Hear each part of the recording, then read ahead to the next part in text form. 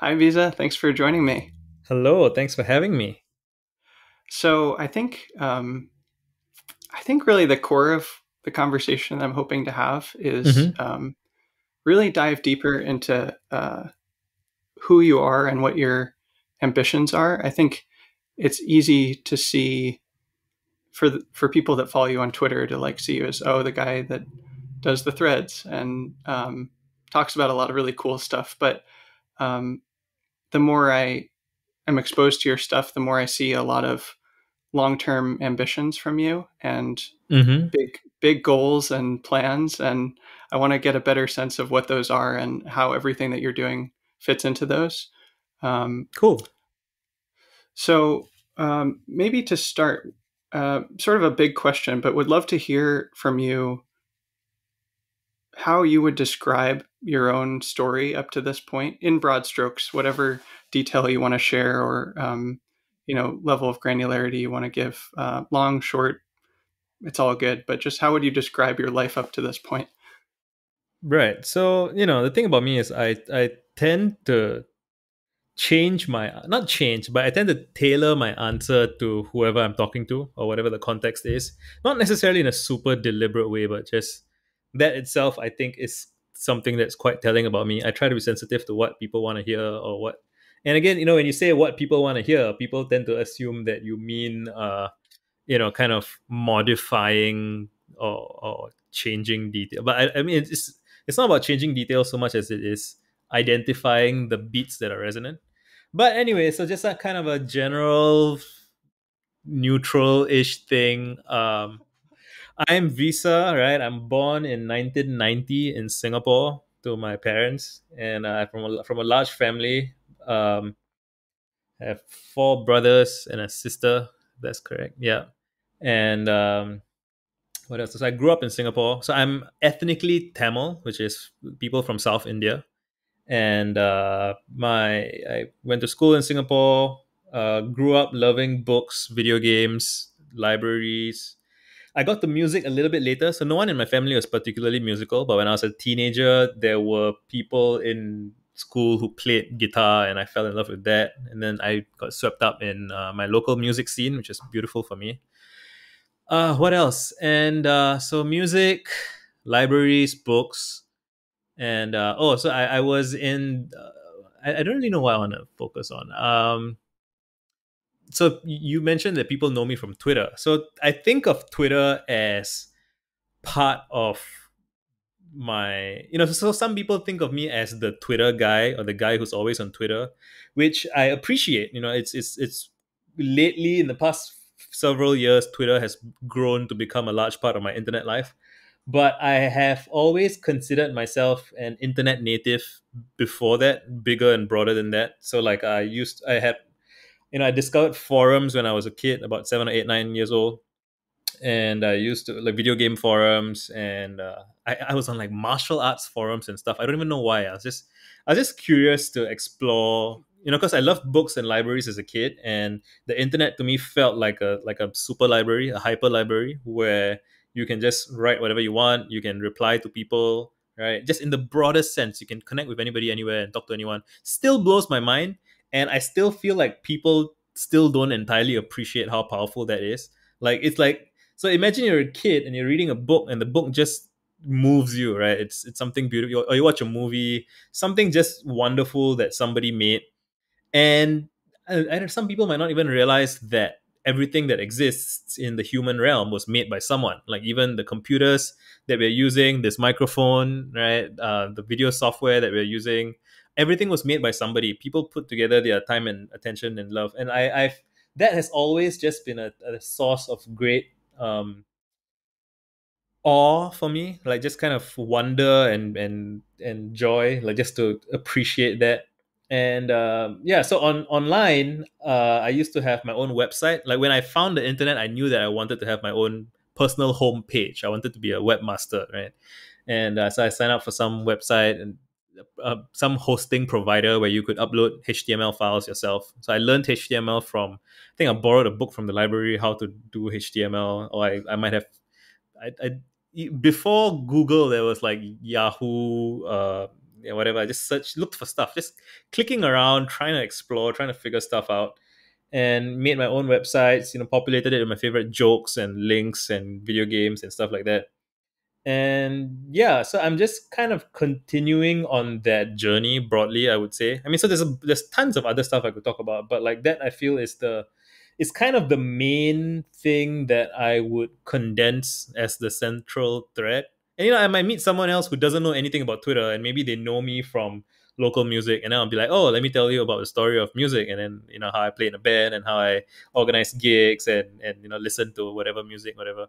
But yeah, I, I think the the biggest, grandest vision is what I describe as um, the the library ethos, which is you know, uh, I sometimes describe libraries as cathedrals to the light of human consciousness. Right, libraries are one of the things that civilization has gotten really, really right. Like public libraries, anywhere in the world, in most countries, probably all, you can go to a library. There are books there that you can you can first of all like it's a public space that you can enter and not be expected to buy anything, right? So it's not consumery. It's like you know, it's it's sacred to me. It really is. Like even though it's secular or whatever, it's just it's it's like the fact that libraries exist make me want to be a good person in the world like as opposed to being like you know kind of a selfish and and protective and needy and that kind of thing. Like I, I live in a world where libraries exist and street musicians. And and as long as these people and these processes exist i want to be a part of that. I want to be a librarian in in this i want to embody the spirit of a librarian. So even if i don't actually run my own library like it's just you know involving people in the process having stuff that you can share with other people um, in in every sense. So you could think of my Twitter threads or my webs of my web of Twitter threads as as a kind of library. You could think of the people that I build relationships with. And you know, a library is not just the books, right? A library is an institution, right? It's a think about the Baghdad House of Wisdom or the Library of Alexandria or whatever. Like you need scholars, you know, you need people doing doing the study, people educating children, right? It's, it's just it's a whole thing and um, yeah, so you know, it's it starts in the smallest level of my mom bringing me to the library to read books, and me sitting at home as a kid on the floor reading books, to me tweeting like crazy. And mm-hmm. just today, I was tweeting tweeting about like how you know my semi jokey, semi serious meme is like I want to rebuild the Baghdad House of Wisdom. And again, it doesn't necessarily have to be tied to a specific location. It doesn't need to be a, a place, a building, right? It's it's a network of relationships and and how people relate to each other and how people relate to knowledge and what we care about and how we you know make sense of the world and and pass that on to other people. Like yeah that's that's what i do. Like you know at, at the moment you know right now i have when i talked about this with some friends you know when i was 20 21 and i had ah 21 Twitter didn't even exist yet. Twitter was hey wait no Twitter came Twitter was 2007. So I I did have a Twitter account, but like I had maybe I don't know hundred followers who are all my friends who hardly log on, right? So back, but even then I, I you know I had in 2010 I had this dream for this project I called the Legion of Heroes project, which was inspired by like video games. I think like I was playing video games and maybe reading about like uh, Ben Franklin and Carl Sagan and all these people and just this idea of uh, wanting to assemble some kind of crew, wanting to put together a group of people, just great people who are curious, ambitious in some way. Like I didn't know how exactly that was going to turn out, but I just you know who are who are heroic people in in that I can associate with. And you know, the, the bigger my audience gets, the more I become sensitive to how anything that I want to talk about could have some negative connotation to it. So like when I say hero, some people might think, oh, it's it's some selfish person who wants glory and want, like, no, that's not what I mean. I mean, it's just a just a person who takes heroic action, right? A person who's brave, um, inspiring, who just the way that they conduct them. You can be any kind of hero. You can be a teacher, you can be a nurse, a doctor, mom. Like there's there's many ways to be heroic, and some people, uh, you know, just it's a it's kind of an, a, a, ob- observable reality that some people are more heroic than others and i don't i don't judge people for being more or less than but i do know that I, I personally think it would be beautiful to see more of that, like just that that ephemeral, whatever it is, you know, whether it's if a have if you could assemble a group of heroic um, songwriters, right, who are going to write beautiful melodies that move people. I want to see that or if you want to have a bunch of heroic uh, gardeners, right, who want to make beautiful gardens for people to rest in. I want to see just whatever it is, right? It's just ambition in that heroic, beautiful, nurturing sense. Uh, I couldn't have articulated it back then, but that was what I wanted, and I tried. I would go around talking to my friends and try. And you know, back then I was more pushy about it because I was a teenager and like, like I didn't I wasn't as sensitive to other people's feelings. So I was kind of beating people over the head with it, like, ah, why aren't we not more ambitious? Why are we not more? And some people like, besides, you need to chill, man. Like, you're really, you're, you're, you're kind of do it like it's too much. And they were right, you know, they were right. And I had to learn, I had to learn to temper my intensity and listen to people. I did spend a few years kind of like, oh shit, I am, I talk over people a lot, right? I, uh, I used to not listen to people closely. Like I would, I used to be this kind of argumentative. You know, I've read a lot of books, so I feel like I know a lot of stuff. So if I'm having a conversation with someone and they don't seem to be sure about what they're saying, I used to kind of butt in and try to make their point for them. And now I realize that oh, you know, like you should give people the space to articulate themselves, even if they're not doing it amazingly well yet, so that they can nourish and grow. Like, like all these things that I've learned along the way. But I will say that you know, from the very start, um, you know, like so I, I once wrote a blog post when I was about 20. It was very arrogant. It was titled How to Save Singapore, which is my country. Mm.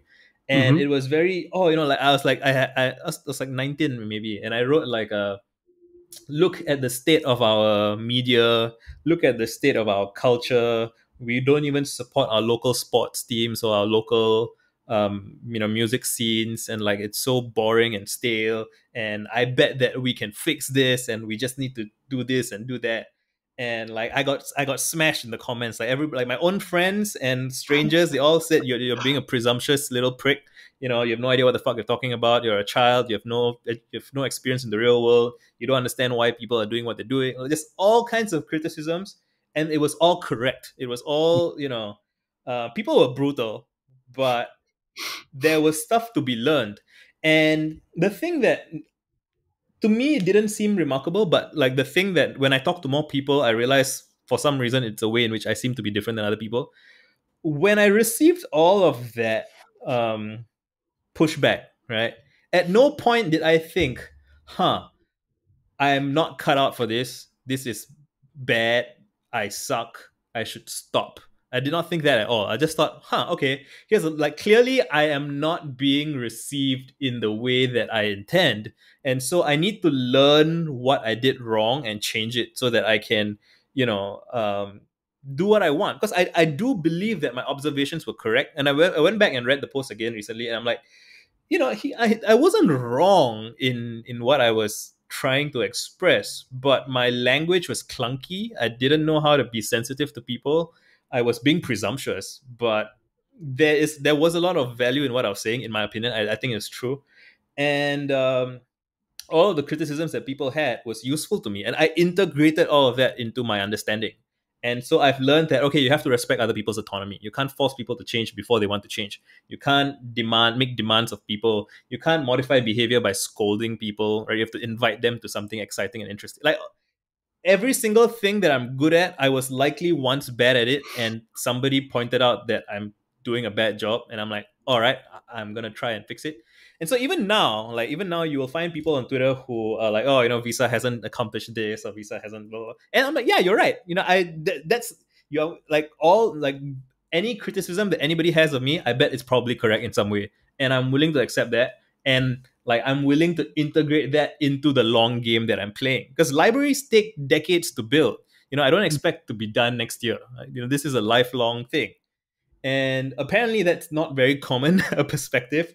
And um, i've had a bunch of people who come to me years after such a confrontation at some point and they're like oh you know years ago like in 2007 or in 2012 or in 2016 uh, we had an argument and uh, I thought you were full of shit, but I see that you're still doing what you said you're gonna do. So I guess you're for real. I'm like, yeah, dude. you know, I, I I live my life like this. Um, I understand. I, so there was a period of time where I used to get mad why people don't seem to see me for what I am, and now I realize like, oh, okay, like there are a lot of lurid examples of people who do who say shit they don't mean and they act in bad faith, and people, you know, it's called the lemon problem in in like used car markets, like you have to assume that any used car is probably bad because if it was good, it would be sold already. And so, like, the assumption is that any car, the moment it goes on the secondhand market, you should just assume that it's shitty and like um, the price drops tremendously because just the assumption is that there must be something wrong with it. So even if if if you are trying to sell a secondhand car that's perfectly fine, you still have to deal with the lemon problem, and so you that people are going to make assumptions about you and yeah so i kind of i meditate on that I reflect on that. I'm like okay this is the and you know you read history and you find out that you know like martin luther of the protestant reformation like his opponents like called his mother a whore and a bath attendant. Like you know like people just attack anyone who's trying to do anything. And you know, the thing is not to take it too personally and not to and not even and you know there's also there's a way of not taking it personally in a very performative way where you're still taking it personally you're just kind of pretending that you're not which is also you know it's like there, there is a deeper underlying kind of humor to the thing and it's i don't know i'm, I'm just kind of rambling at this point but hmm. yeah you know libraries trying to do better trying to help people trying to bring people together um, at whatever scale is afforded to me. So when I was starting out, it was small. It has gotten bigger. I would like to do this at the biggest possible scale I can manage, but I am not gonna, you know, defer or compromise what I can do now for the remote chance of something big in the future, right? So it's like, how do I? So I joked earlier that I want to rebuild the Baghdad House of Wisdom, and you know, I would say that in a sense, me and my friends, including you, we are already kind of embodying its spirit, like its spiritual successor is with us on Twitter and you know in the conversations that we have off Twitter wherever. It's just it's, it's a bunch of people coming together to discuss ideas and to try and put forward you know um, one of the quotes that Al Mamun said I think was that we want to serve the whole world right? They did that in in the 600s 800s they were trying to serve the whole world. And like you know that is a, a, a lineage that I am proud to be a part of. I think if you read books and you write and you talk to people, like you are a part of that that heritage, right? Of the keepers of the flame of the light of human consciousness. And uh, yeah, I, I, I it gives me a lot of satisfaction and pride to participate in this process.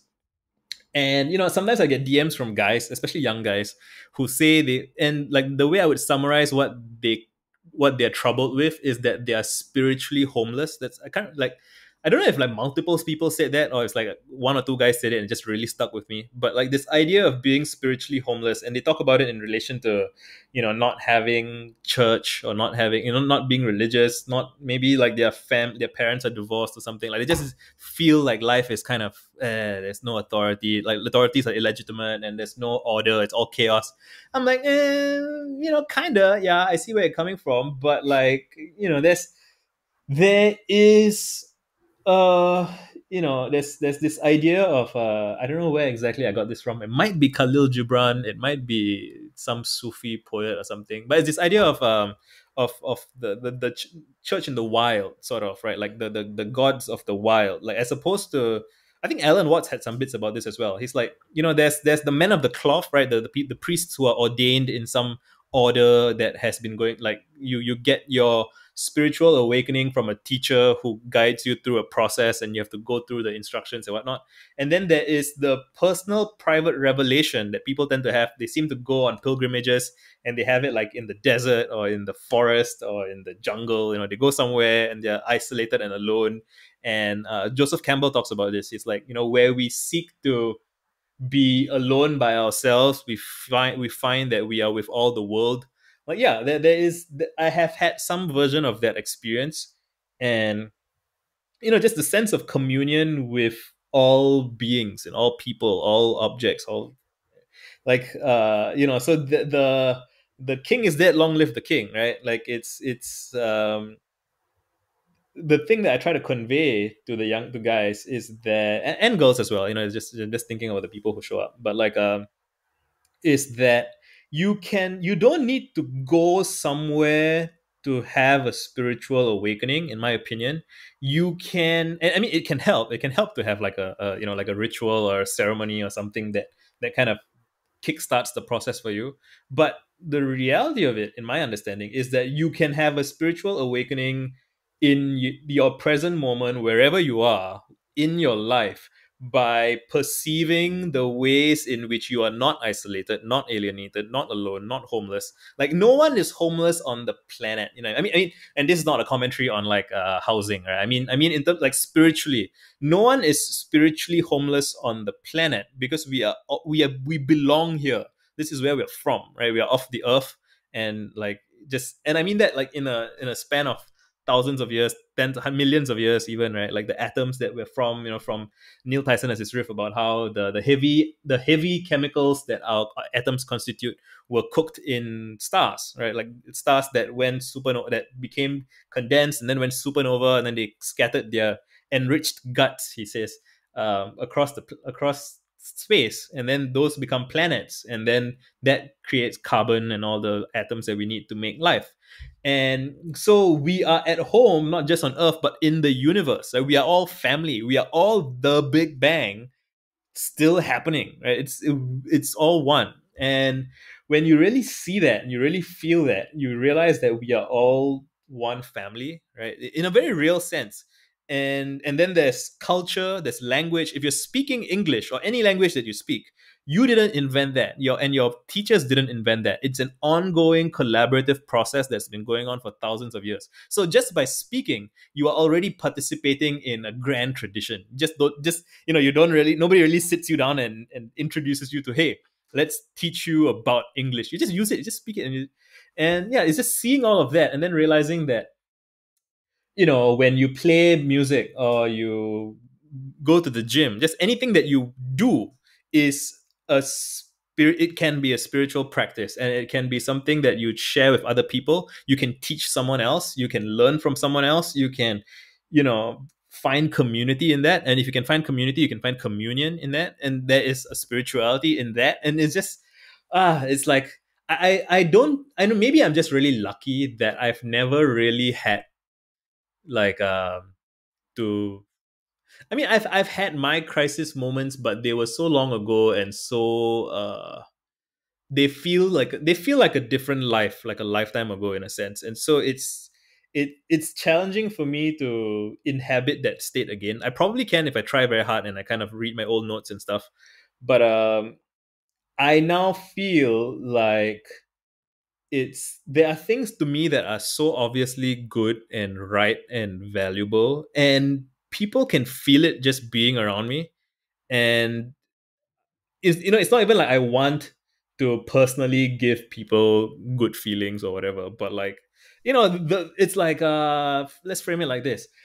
I was a lonely kid like you know i was a nerd and uh just as a weirdo misfit dark skin strange name. And so i was a lonely kid and i did and i wanted to not be lonely and you know, when we met in 2019, right, it was my internet friends who flew me out to to San Francisco, and people offered to host me in their homes. People fed me. People took care of me, made sure that I was okay. You know, like a uh, put me in an Uber to go to the next destination, walked me from here to there. Like it was just they made me feel extremely at home, right? And and now that I think about it, I remember feeling uh, I remember feeling not that. I remember feeling like my life didn't matter. Like people didn't care about me. Like it wouldn't matter if I would live or die. Like even you know, like oh yeah, your, your parents will be sad. Like yeah, for a while. You, know, you mean as a like, kid before you were in the Bay? Bef- I mean, now I'm thinking about when I was a teenager. I think I think my yeah, alienation right. was was most acute twice. Once when I was about 17, and once when I was about 25. Those were my two most intense like depressions, dark night of the soul kind of thing where it, yeah, it just felt like life is an ordeal rather than an adventure. It just feels like it's like a jail sentence, right? It's like a even if you have a job that you kind of like and and a family that you kind of love and like all those things. it just I remember now, it, yeah, it it felt like a jail sentence. It like just with extra steps, right? Like yeah, you can you can go wherever you want allegedly, but you know you still have bills to pay, you have a mortgage to pay, you have all these obligations, blah blah blah. And even even now, when I'm framing it that way, I don't know if that's the the that captures the full essence of how dark and bleak it got.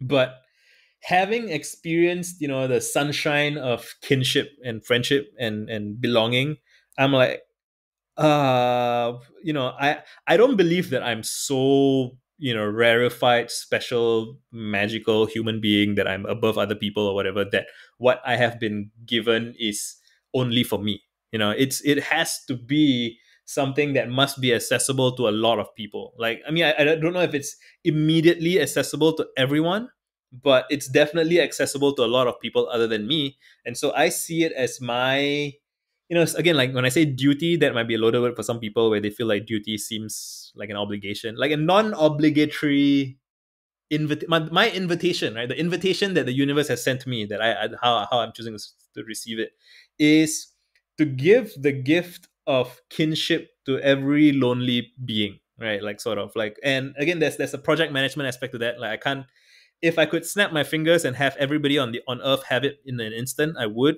but that's not really feasible. So i am looking i'm so i'm looking for a crew right? Like i mentioned earlier the legion of heroes i'm looking for a crew. I'm assembling people who i think are qualified you know friendly ambitious nerds right? People who have who have some of the traits that they need and maybe they need some help polishing certain other aspects so that they can each be leaders in their communities and they can each kind of be their own chapter their own wing of of and you know i'm, I'm not looking for for to make money. I'm not looking to get uh some kind of glory for some specific um altar i'm like non-denominational and just however you want to do it i don't care. You know I, i'm very very agnostic about what people how people choose to like if you if you look at a one, one way I try to approach this is you look at a list of things that you Google like how do I know if I'm a cult if I am in a cult and they'll tell you like oh there's one leader and he cannot be questioned. I'm like okay so let's not have leaders and let's question everything. And then they'll be like you have to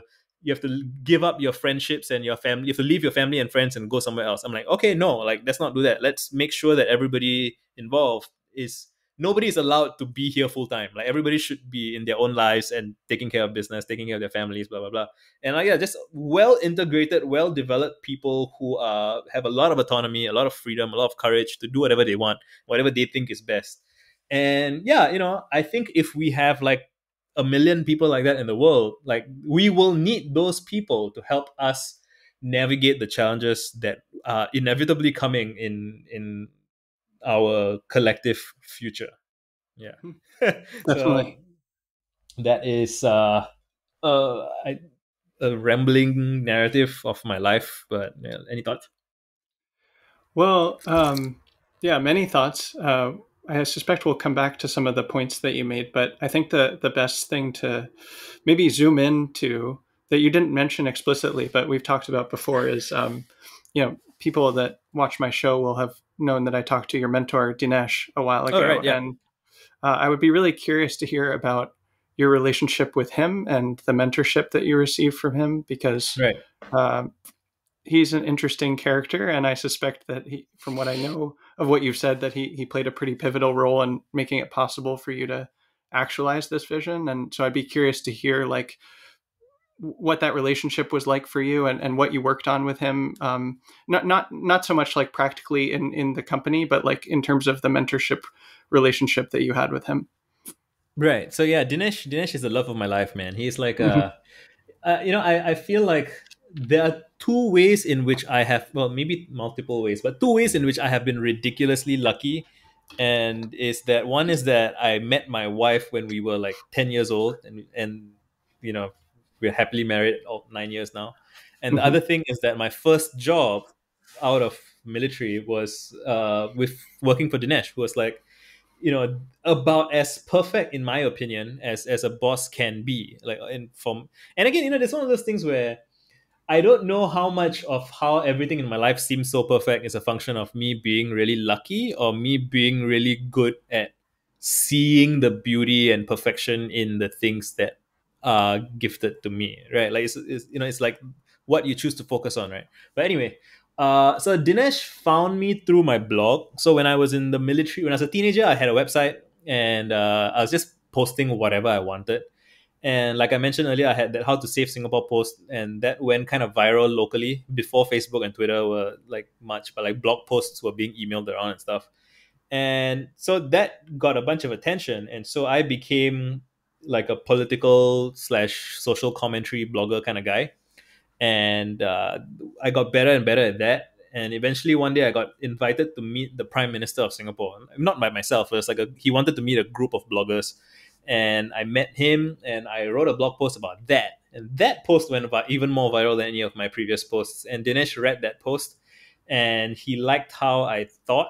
He he thought that I was quite um, measured and thoughtful in my analysis, and he invited me to meet for coffee. I didn't even realize that he was it was like a hiring call. I thought because you know I didn't I I knew about software as a kid. Like again, I used to make HTML and stuff, but when I tried CSS, uh, JavaScript, and C++, I'm like ah, I, I wasn't, and the, the the juice was not worth the squeeze for me. So I didn't really get super deep into software. Uh, and so Dinesh emailed me in around I think December of 2012 to ask me out for coffee with the intent of of kind of pitching that I work for his company um, to run the blog. So this is it was as simple as it's like an early stage company. Um, it's like five or six software engineers working on the product. The product already had product market fit, so they had customers. They already raised funding. So it's like pretty much an ideal context for someone's first job i feel. Like you know it's like it's a small if again I, am I'm, I'm always going to describe things as though they're ideal even though i don't know if maybe they're not but like it, it was very ideal for me. Small group small group of people so the entire office can fit in the car to go out for, for lunch which is what we did. And you know you can hear everything that's going on in the company so you have you develop an understanding of business in that holistic sense. And um, I was like the only there's one marketing intern, and then I was like the first marketing hire. So I got a lot of freedom to do whatever I wanted, whatever I thought was right, and uh, you know a lot of learning, a lot of experimentation. Um, super smart colleagues, so I was like learning so much from them every day, just at lunch. And uh, the thing that I really got, so even if even if Dinesh was like an average boss, I think I would have still enjoyed working at doing software content marketing because it's writing. So I, was, I learned my I, it made me a better salesman, better well not better marketer specifically. So sales sales and marketing there's a distinction. Sales is about asking for the money, which I'm actually not that great at yet. I'm like a I'm like a B minus market uh, salesperson and like an A plus marketing guy. That's how I would describe myself. And um, but you know like learning to get people's attention, learning to get people's interest, learning to write in a more um, condensed way. I think I think marketing teaches you to write in a very uh, user fo- reader focused, user focused kind of way. Like so, very often you, you see, most most marketing gets dismissed as kind of a you know so, so there's, there's a selection bias effect most people's discussion about marketing focuses on bad marketing which is when there's someone just did a bad job and then like a sloppy job and then you're like ah you know how do these fools think that marketing works at all but like when marketing is done well, you know, it's scary actually. It's like, you know, like big oil use their PR and marketing power to convince people to think about personal carbon footprints, which, you know, directs people's attention away from corporate carbon footprints into like it's just understanding human psychology and understanding how people talk to each other and like to some degree i got into marketing because I was afraid of marketing as in, in terms of the power that it has over humans. And so I didn't want to let that kind of um, you know, I wanted to understand these powerful forces in the world so that I could resist them to some degree. And I think that works. Uh, but anyway, so Dinesh hired me to help grow the content marketing team, help to build out the content features and, and the blog and all those things. And uh, so there's a bunch of interesting technical stuff but I mean, I think what you want to hear and what is what is probably most more interesting to a lot of people is that he was a great mentor figure. He was like he was basically my therapist, and he paid me, you know. And he he was a, he was a therapist. He paid me, and he had a personal stake in witnessing my performance get better, right? So, and I, I think the the issue with uh, therapy sometimes that some people mention is that your therapist only just gets paid for you to show up so they only need to care if you show up. And if you show up every day for every week for months, for years, and you don't make any progress, as long as you keep showing up, it doesn't really affect them, right? Like it's like the incentives are not aligned. Whereas in Dinesh's case, because he's my CEO, he's my boss, he wants to get more out of me if he can, and uh, so he wants. So if if the bottleneck of my performance at work is my personal issues, and I, and I think everybody's bottleneck at work is personal issues. Like it's very rare. If it's very rarely you lack knowledge or you lack, you know, like those simple things. Those simple things can be addressed pretty easily. It's usually personal, personal issues that are the bottleneck of people's performance. And uh, so he would we would do a one-on-one every in, in the early days it was every two weeks and when the company grew larger it was once a month and uh, he would just so we would have a document like we would bring our laptops and we would go out for coffee or something and we would just have a discussion about you know what were your priorities this week we, we had a format but i don't know if the format is necessarily super anything magical about the format it's kind of straightforward like if you google um, andy grove you know sorry, uh, Ben Horowitz from Andreessen Horowitz. If you Google Ben Horowitz one on ones, like one dash on dash ones, uh, you will find like a framework for having one on one meetings. But again, the thing about one on one meeting is it's really about the the vibe of the person you are doing it with. It's it's a two way thing, right? And both people have to have to be mutually invested in having a productive meeting and having you know like working through issues together and dinesh was just really really good at being persistently curious about whatever issues i was going through and you know i was very willing to be honest with dinesh about whatever i was going through which i suspect might not have been as true for I don't I don't know how true that would have been for everybody else in the company. Although I do think Dinesh probably inspired some level of uh, sh- intimate sharing from other people. So you you do see uh, Cedric also describes his one on ones with Dinesh. Uh, Darren also describes his one on one with Dinesh. My other friend, my other ex colleague Desmond. So there are multiple people who had pretty intimate one on ones with Dinesh, and you know, so he he does have that skill of of of persuading people that he genuinely cares about their well-being and their their development right? I remember i think in your interview your chat with him you said something like you are willing to walk a very long path with your people. And he said something like uh, you know if you're serious about helping that's the only way to do it like that's what he said mm-hmm. and it's true it's like you just sense that here is a man who's genuinely curious to understand you and he's not looking to judge you, which is like insane. Like people go to therapists and say that their therapist was being judgy towards them, right? Like it's it's choosing to remain non-judgmental. Like he's a you know, I, I, it's funny that I'm saying this to you, but I've said this to other people that Dinesh is like a Zen monk robot, like sort of like, you know, he's just, he's so genuinely curious. And so I remember the first couple of times we had slightly more uncomfortable conversations were like I was late for a meeting. A couple, I think I was late for more than one meeting, and he asked me casually, but like you know pointedly, like, "Hey, why were you late?"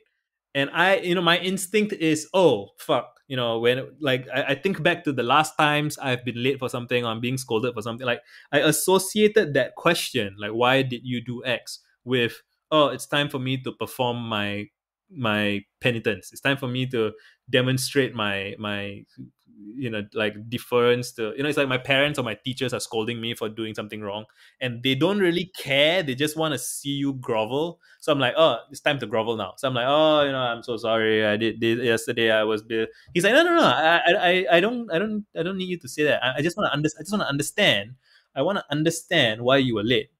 I'm like like I, I had moment like multiple moments over the years with Dinesh, multiple one-on-ones, there would be these moments where I would assume that he wants to hear something that most other people I assume would want to hear. And he's like, no, I don't want to know that. That's fine. I like I want to know what why were you late? And when you're not allowed to grovel, you then have to think.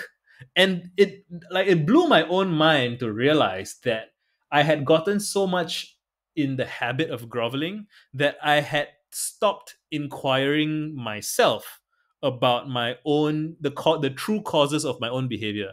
So at the point in time where we were having one-on-ones, Dinesh was more curious about me than I was curious about myself. And like just making sense of that was a mind fuck for me. I was like, holy shit. And you know, so I'm like, okay, we are in new territory. I've never been here before. Let me try um, I must have been late. Well, let's trace. He's like, he's like, no, trace back the cause and effect events. Like, like you know, it's not about you as a as a moral being. Like, I just want to know what happened and where can we intervene. And he's like, uh, and I'm, I'm like, okay, I'm late because I, I woke up late. It's like, okay, so, so why did you wake up late? Like, did you not set an alarm? I'm like, like, no, I don't, I don't respond to alarms because I'm just, I'm a heavy sleeper, and uh, you know, I slept late. It's like, oh, why do you sleep late? Uh, I was playing video games, I guess. Like he's like, oh, why, why? So what's what's the story there? Like, why? And I'm like, you know, it's like, is this the part where I I perform groveling and shame that I play video games? He's like, no, no, you know, like, so how how do you think? How do you think about your video game? Uh, habit like you know how much do you play why do you why, why do you play it how often do you play how many hours what do you think is reasonable and like that felt alien to me at the time to think about my video game playing as something that I could think about. Like, because at the time, now I can say with the clarity of, of hindsight, that would have been like my child self or my whatever self, you know, desperately trying to squeeze in some sense of fun, some sense of autonomy away from like my disciplinarian authoritarian self trying to do work.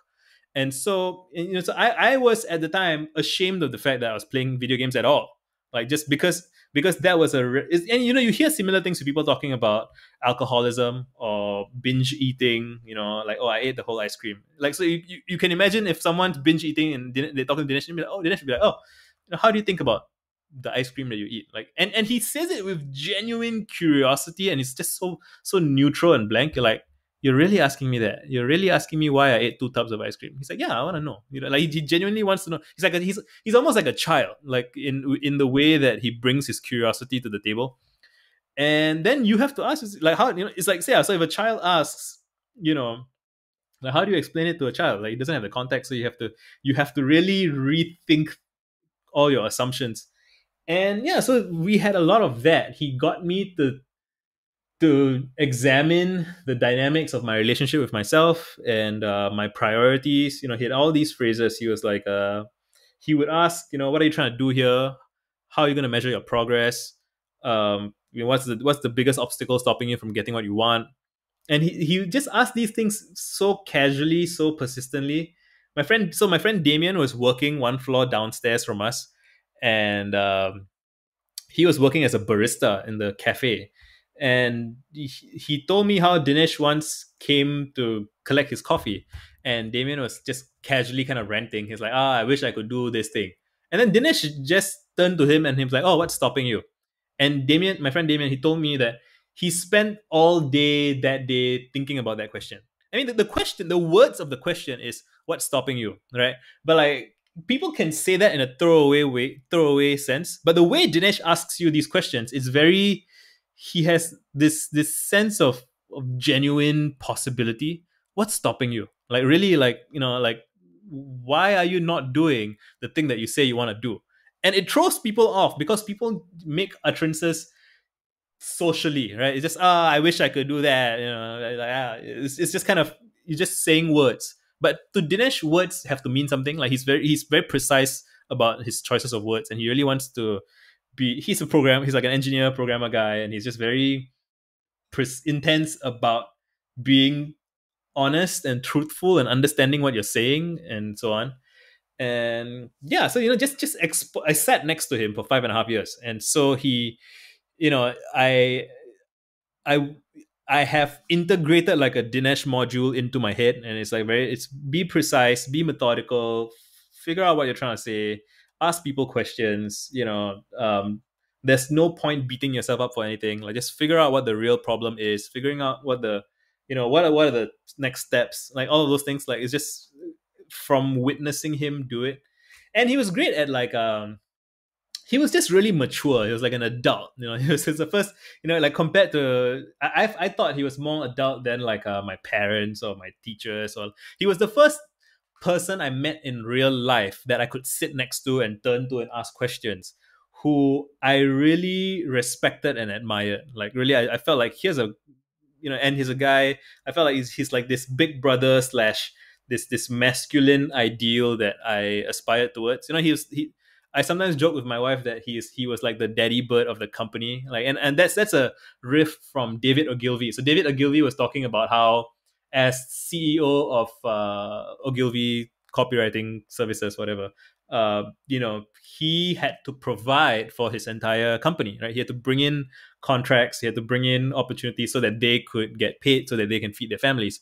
And there is you know that is king energy right like it's really just kind of uh taking responsibility for taking care of other people. And dinesh did that and he never complained. He never he was always professional. He's he's just really and even like you know on his wedding day we tried to get him drunk and he did get drunk and he was still you know he's still dinesh. It's just you're kind of hoping that you'll see some like alien you know different well i mean so he he can he can get passionate talking about education you know again like there's there's nothing i can say about dinesh that isn't positive really. Like uh it's he's just i mean like you know you you, you might like you might say he's kind of some people might say he's kind of boring but like he knows that. He knows who he is. He's he he finds himself he finds the things that he does endlessly interesting. He's a he's a guy who really you know he's doing what he knows he should be doing. And it's beautiful. It's, it's just the sense of of um confidence that is grounded in knowledge and experience rather than like bluster and, and bravado. Like he had no need to ever brag about anything. He never you know um he never really cared about credit you know. He never like i would have to tell him hey you should do more like you should go and give talks and stuff you know you should go on interviews. He's like nah that's not i mean not he's he, you know he, i think he would have told you that in his chat as well. He's like an engineering guy so he doesn't really have a a sense of occasion. He doesn't really have a he doesn't have that that showmanship flair. Um, like it doesn't come naturally to him. He has to train for that where necessary in his role as CEO. But uh, but yeah, he's great, man. I love him. He's I, he has my heart forever. Like I I still have one on ones with him like every, roughly at least at least a couple of times a year, and I I I, I you know, I never want to waste his time. Even now, even after I no longer work for him, I'm like, I want to finish my book so that when I ask him for our next one on one, I will have interesting information to present to him, right? So that mm. we can have a good time. Yeah, totally. Totally.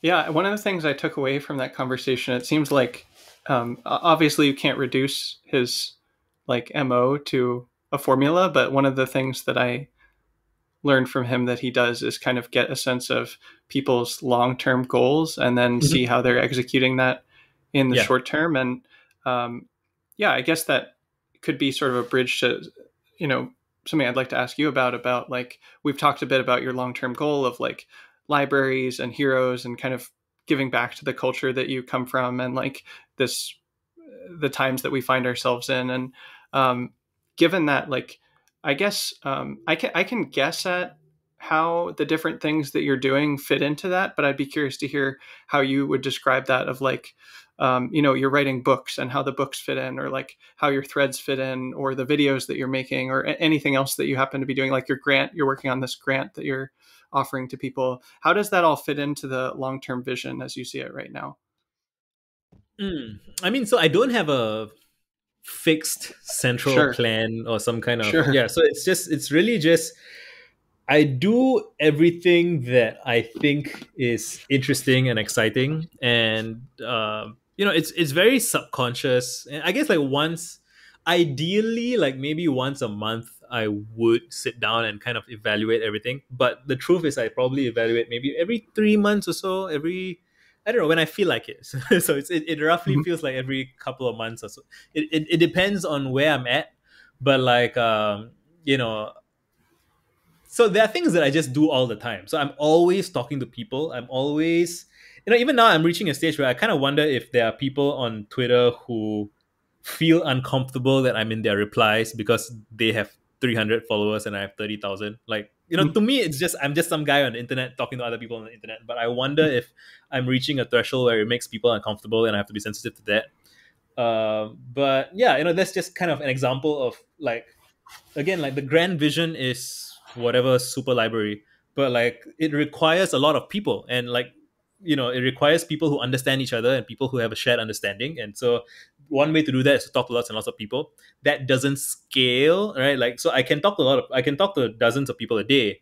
But if I want to be talking to thousands of people, like then I should have content. I should have videos, blog posts, books, and um, you know, the everything that I'm putting in my books is stuff that I already have in um, in tweets and threads and blog posts, and uh, so the way I think about my books is actually very simple. I think about my books as condensed conversations that I've had with people. So it's like I I period I regularly get people in my DMs asking me questions, and I to answer their questions I typically so initially I'm just answering off off the cuff, right? I'm just saying whatever comes to mind.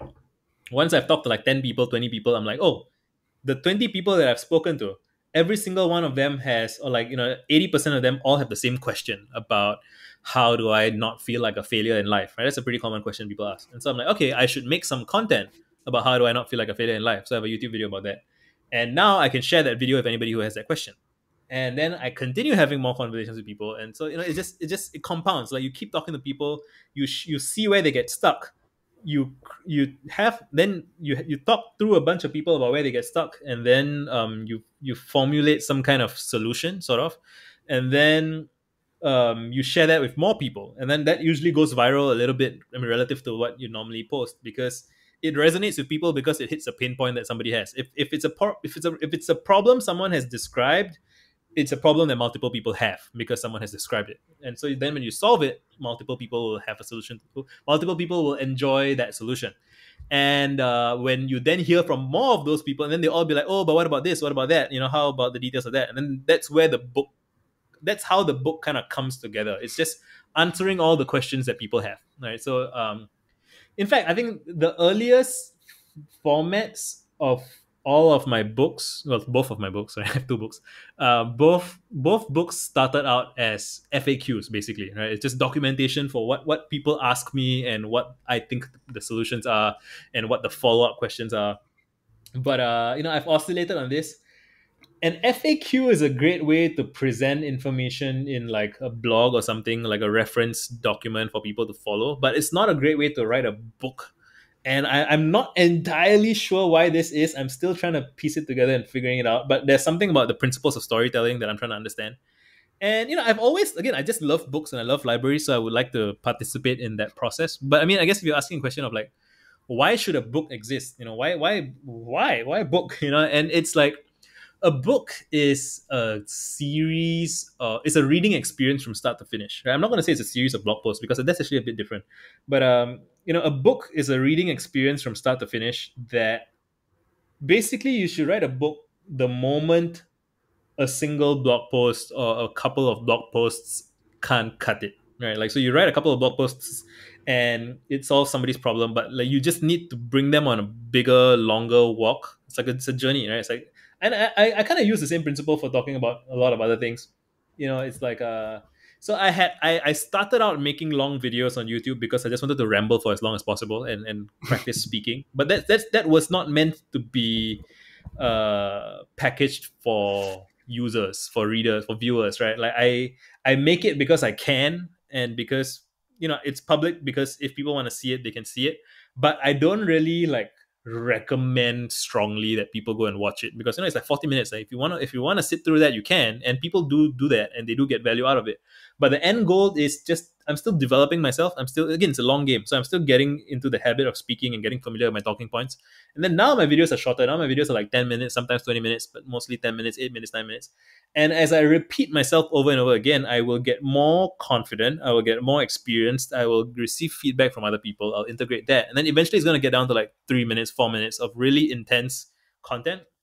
And then there will come a point where a series of the kind of um, heaviest shots, right? If you think of a three minute video as like a shot, it's just kind of um, not, well, it, it will help people to some degree, but just a series of shots does not that if, if you try to have a series of good shots it can imply a certain bigger vision or worldview or something but it doesn't and that will be very helpful to a but to a subset of people but it doesn't take people all the way there. So you know the and that's that's like what a book is supposed to be you know in my in my frame.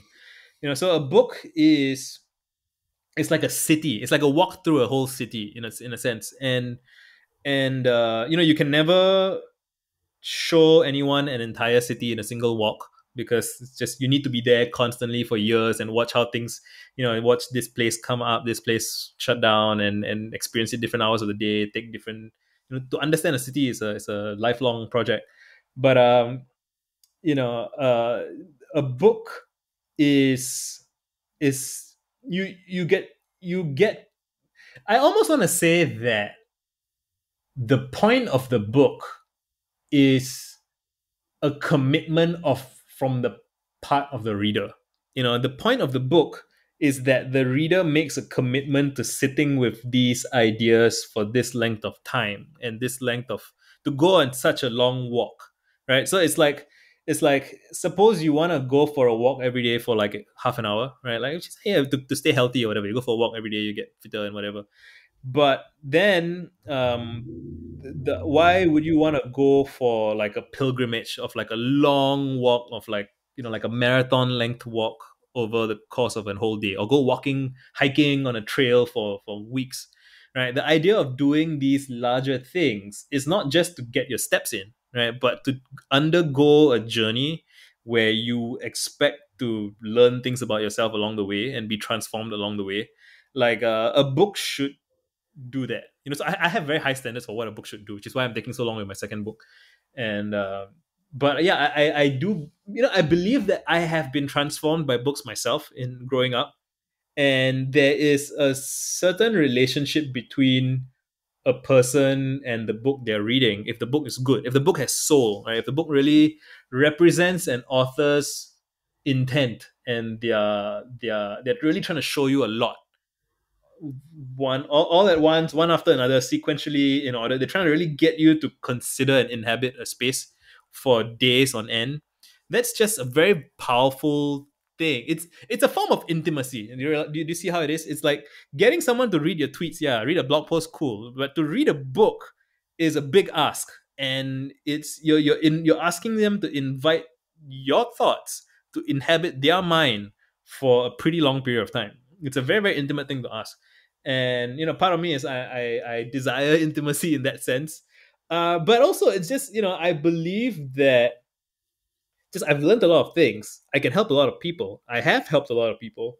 And but it's in a very piecemeal way. And it'll just be great if i can just recommend a book to someone. Like if someone needs help i can just give them my book. You know that's a beautiful it's a beautiful thing beautiful option to have. Like uh here is the book that here so together friendly ambitious nerd and introspect they will together be you know the sum of what has helped me through my teens and 20s through my loneliness and and uncertainty and kinship like recreating myself. Again there's no substitute for like having someone like dinesh sit next to you for five and a half years and you talk to them every day. But like it's the next best thing i think that i can give a lot of people. So that's what i want to do. Hmm. how do the other books that you plan to write fit in? I know that you, there's like six or seven different books that you have planned in the future. What are what yeah, are I'm just not, roughly I'm, what are those about? Mm-hmm. So I'm not entirely sure if I'm gonna necessarily necessarily write all of them. Um, so there's you know the the, the natural follow up to introspect is optics, and optics is like it's almost like the external version of introspect. It's about like so if introspect is about figuring out your own internal narratives optics is kind of about understanding how society works and how like you know visuals and it's not not just literally visuals but like uh you know just how people see things how people perceive them each other. I mean so themselves is already kind of introspect-ish but like there's just how things relate to each other visually perceptually that kind of thing.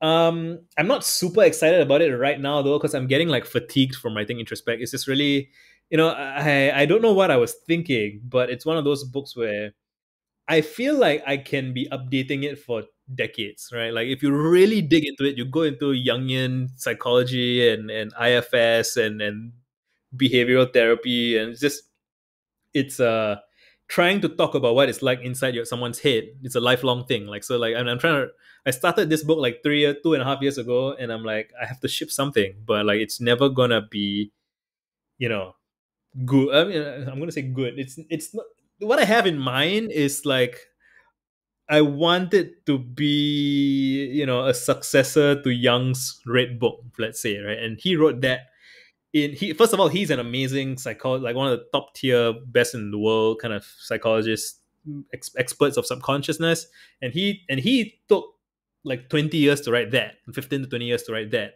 after 20 years of experience. So it's like I just first of all, I'm probably not going to be able to do it. Second of all, if I were able to do a fraction of that, it would not be at 31 years old. I would be doing it like in my 50s or 60s or something. Like just just as a matter of experience, right? Sheer volume.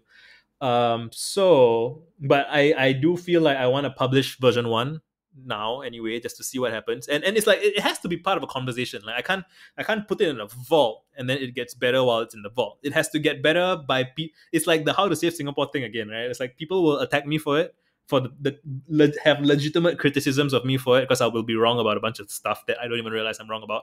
But that's the only way I can learn, right? So I have to share it, and people will have to tell me I'm an idiot, and be like, yeah, "That's true," and then I'll have to update it and correct it. Um, optics. Uh, I had another idea. I have I have multiple ideas. So there's optics. There's high voltage living. High voltage living. I think it, you, you know. So the way I think about these things is like coming up with the idea of a book is does not necessarily mean that the book should be published. It's just it's just like a thinking um, experiment. So I know that I will probably want to write um, constructive ADHD, which is like a um, just I've been doing a bunch of I, I never I never set out to write about ADHD. I didn't even think I had it until so Dinesh was one who suggested that I might have it. So like for the first 22 years of my life, nobody it never occurred to anybody that I might have ADHD. And Dinesh was the first to suggest it, and I looked it up, and I was initially in denial about it. And it's funny because the blog post that I wrote denying that I have ADHD, if you read that blog post, I very obviously have ADHD. Like halfway through, I'm like asking, what is the purpose of money? What is the purpose of a job? In a blog post about about like, do I have ADHD? And like, not I wasn't doing it as like a guy with ADHD cleverly pretend like like revealing his ADHD like as a joke. Like I genuinely thought I didn't have it. I genuinely thought I didn't have it, and I genuinely went on these huge ten meandering tangents, and I was like, "Oh, where was I?" Anyway, yeah, I don't have ADHD. Like it was genuine. It's funny. You can look it up. You can look it up. It's really, it's really something. And you know, that that itself, I think, is a beautiful thing to behold in retrospect. Like you look at it again, you're like, "Huh."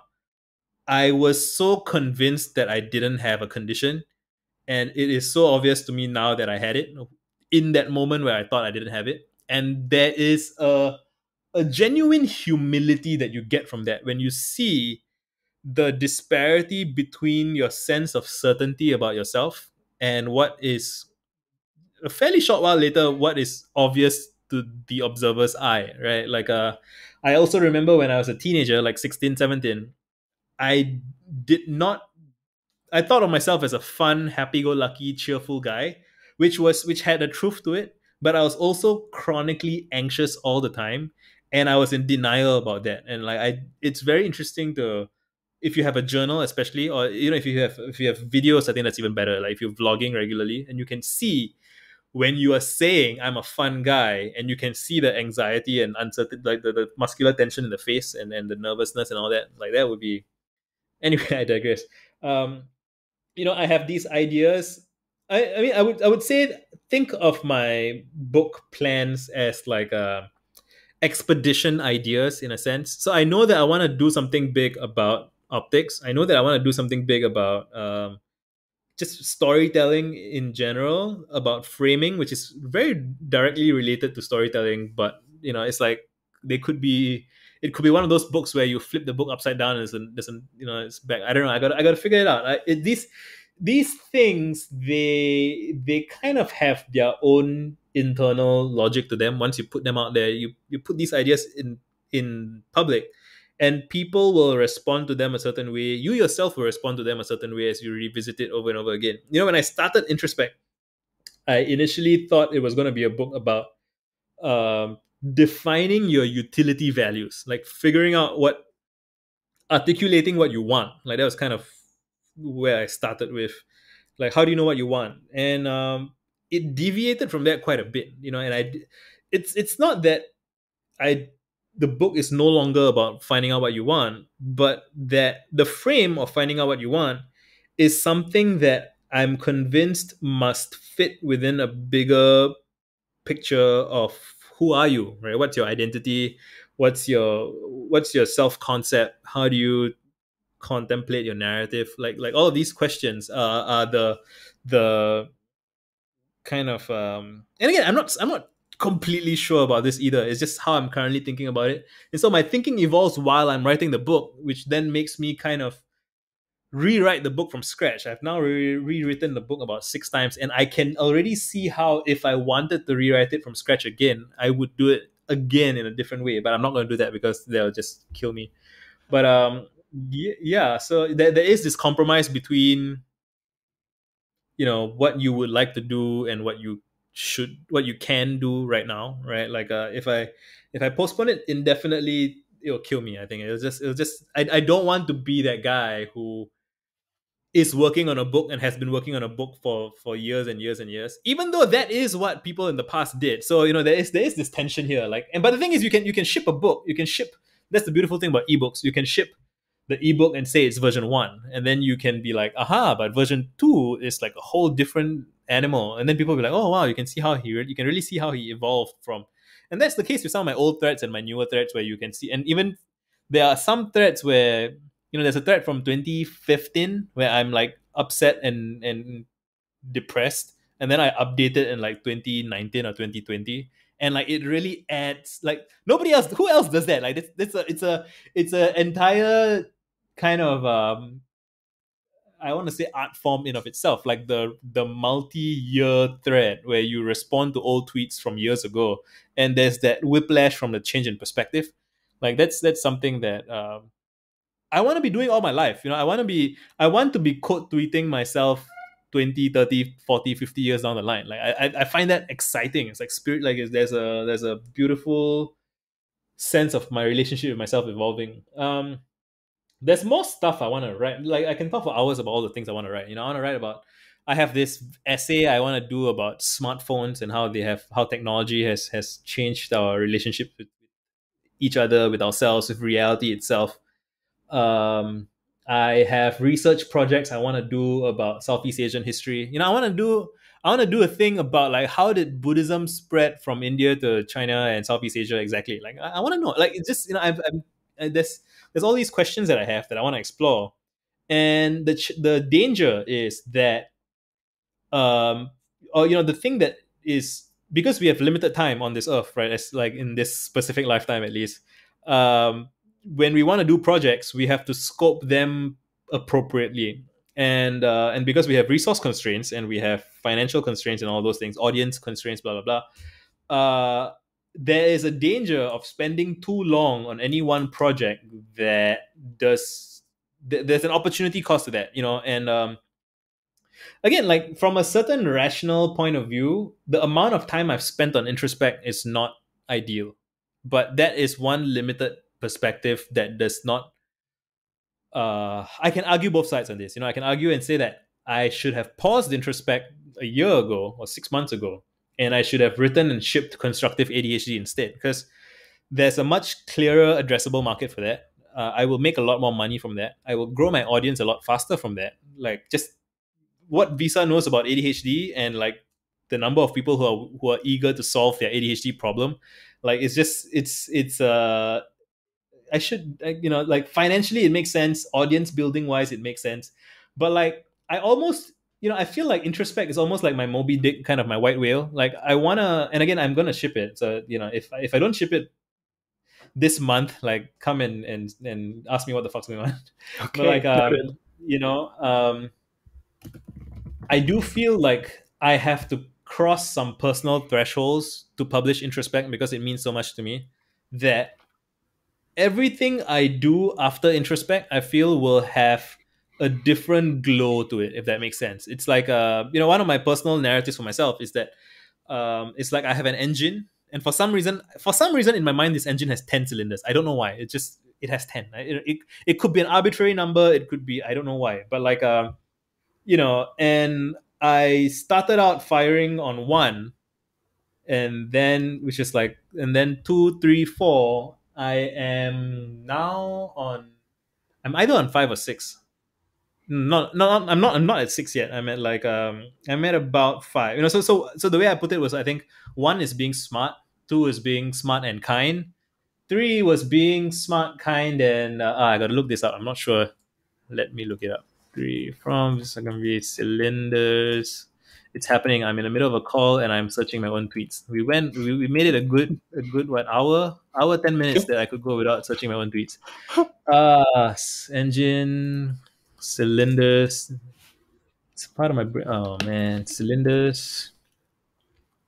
Uh, yeah, so in 2018, I tweeted, if I were forced to make an estimate, I think I'm 20% of the way through my creative final form. I'm firing on about two out of 10 cylinders and I'm about to unlock the third. And the first is the hardest. This was in 2018. And I said, yeah, I said my trip to SF and a year of living as a feral free agent unlocked my third cylinder. So the first cylinder was smart, second cylinder was kind, third cylinder was playful, and I think the fourth cylinder might be something like fearless or free. Um, and so when I when I shipped friendly ambitious nerd and I conceived of uh, my Domino's meme, I decided that the fourth cylinder was firing, and uh, and I said in 2020 at stage five in about one to two years, I think I'll be financially independent, and then at stage six, I'll be deploying assets for others. And stage 10 is a golden age air horns i'm making fun of.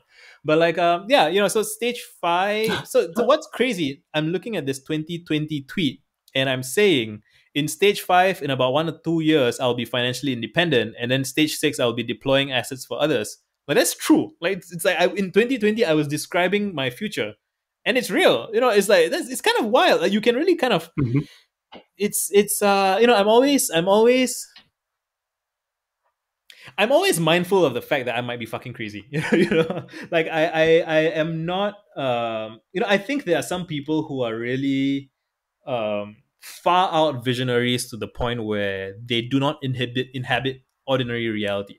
Like uh, I think Prince was like that, the, the musical artist. I think Prince was Prince twenty four seven, and like he just he related to reality differently than everyone else uh, I think Kanye spends a lot of time in that space. Kanye West, he spends a lot of time in that space where he's really manic, kind of, you know, modern contemporary society does not know how to manage people who who have this kind of ups and downs.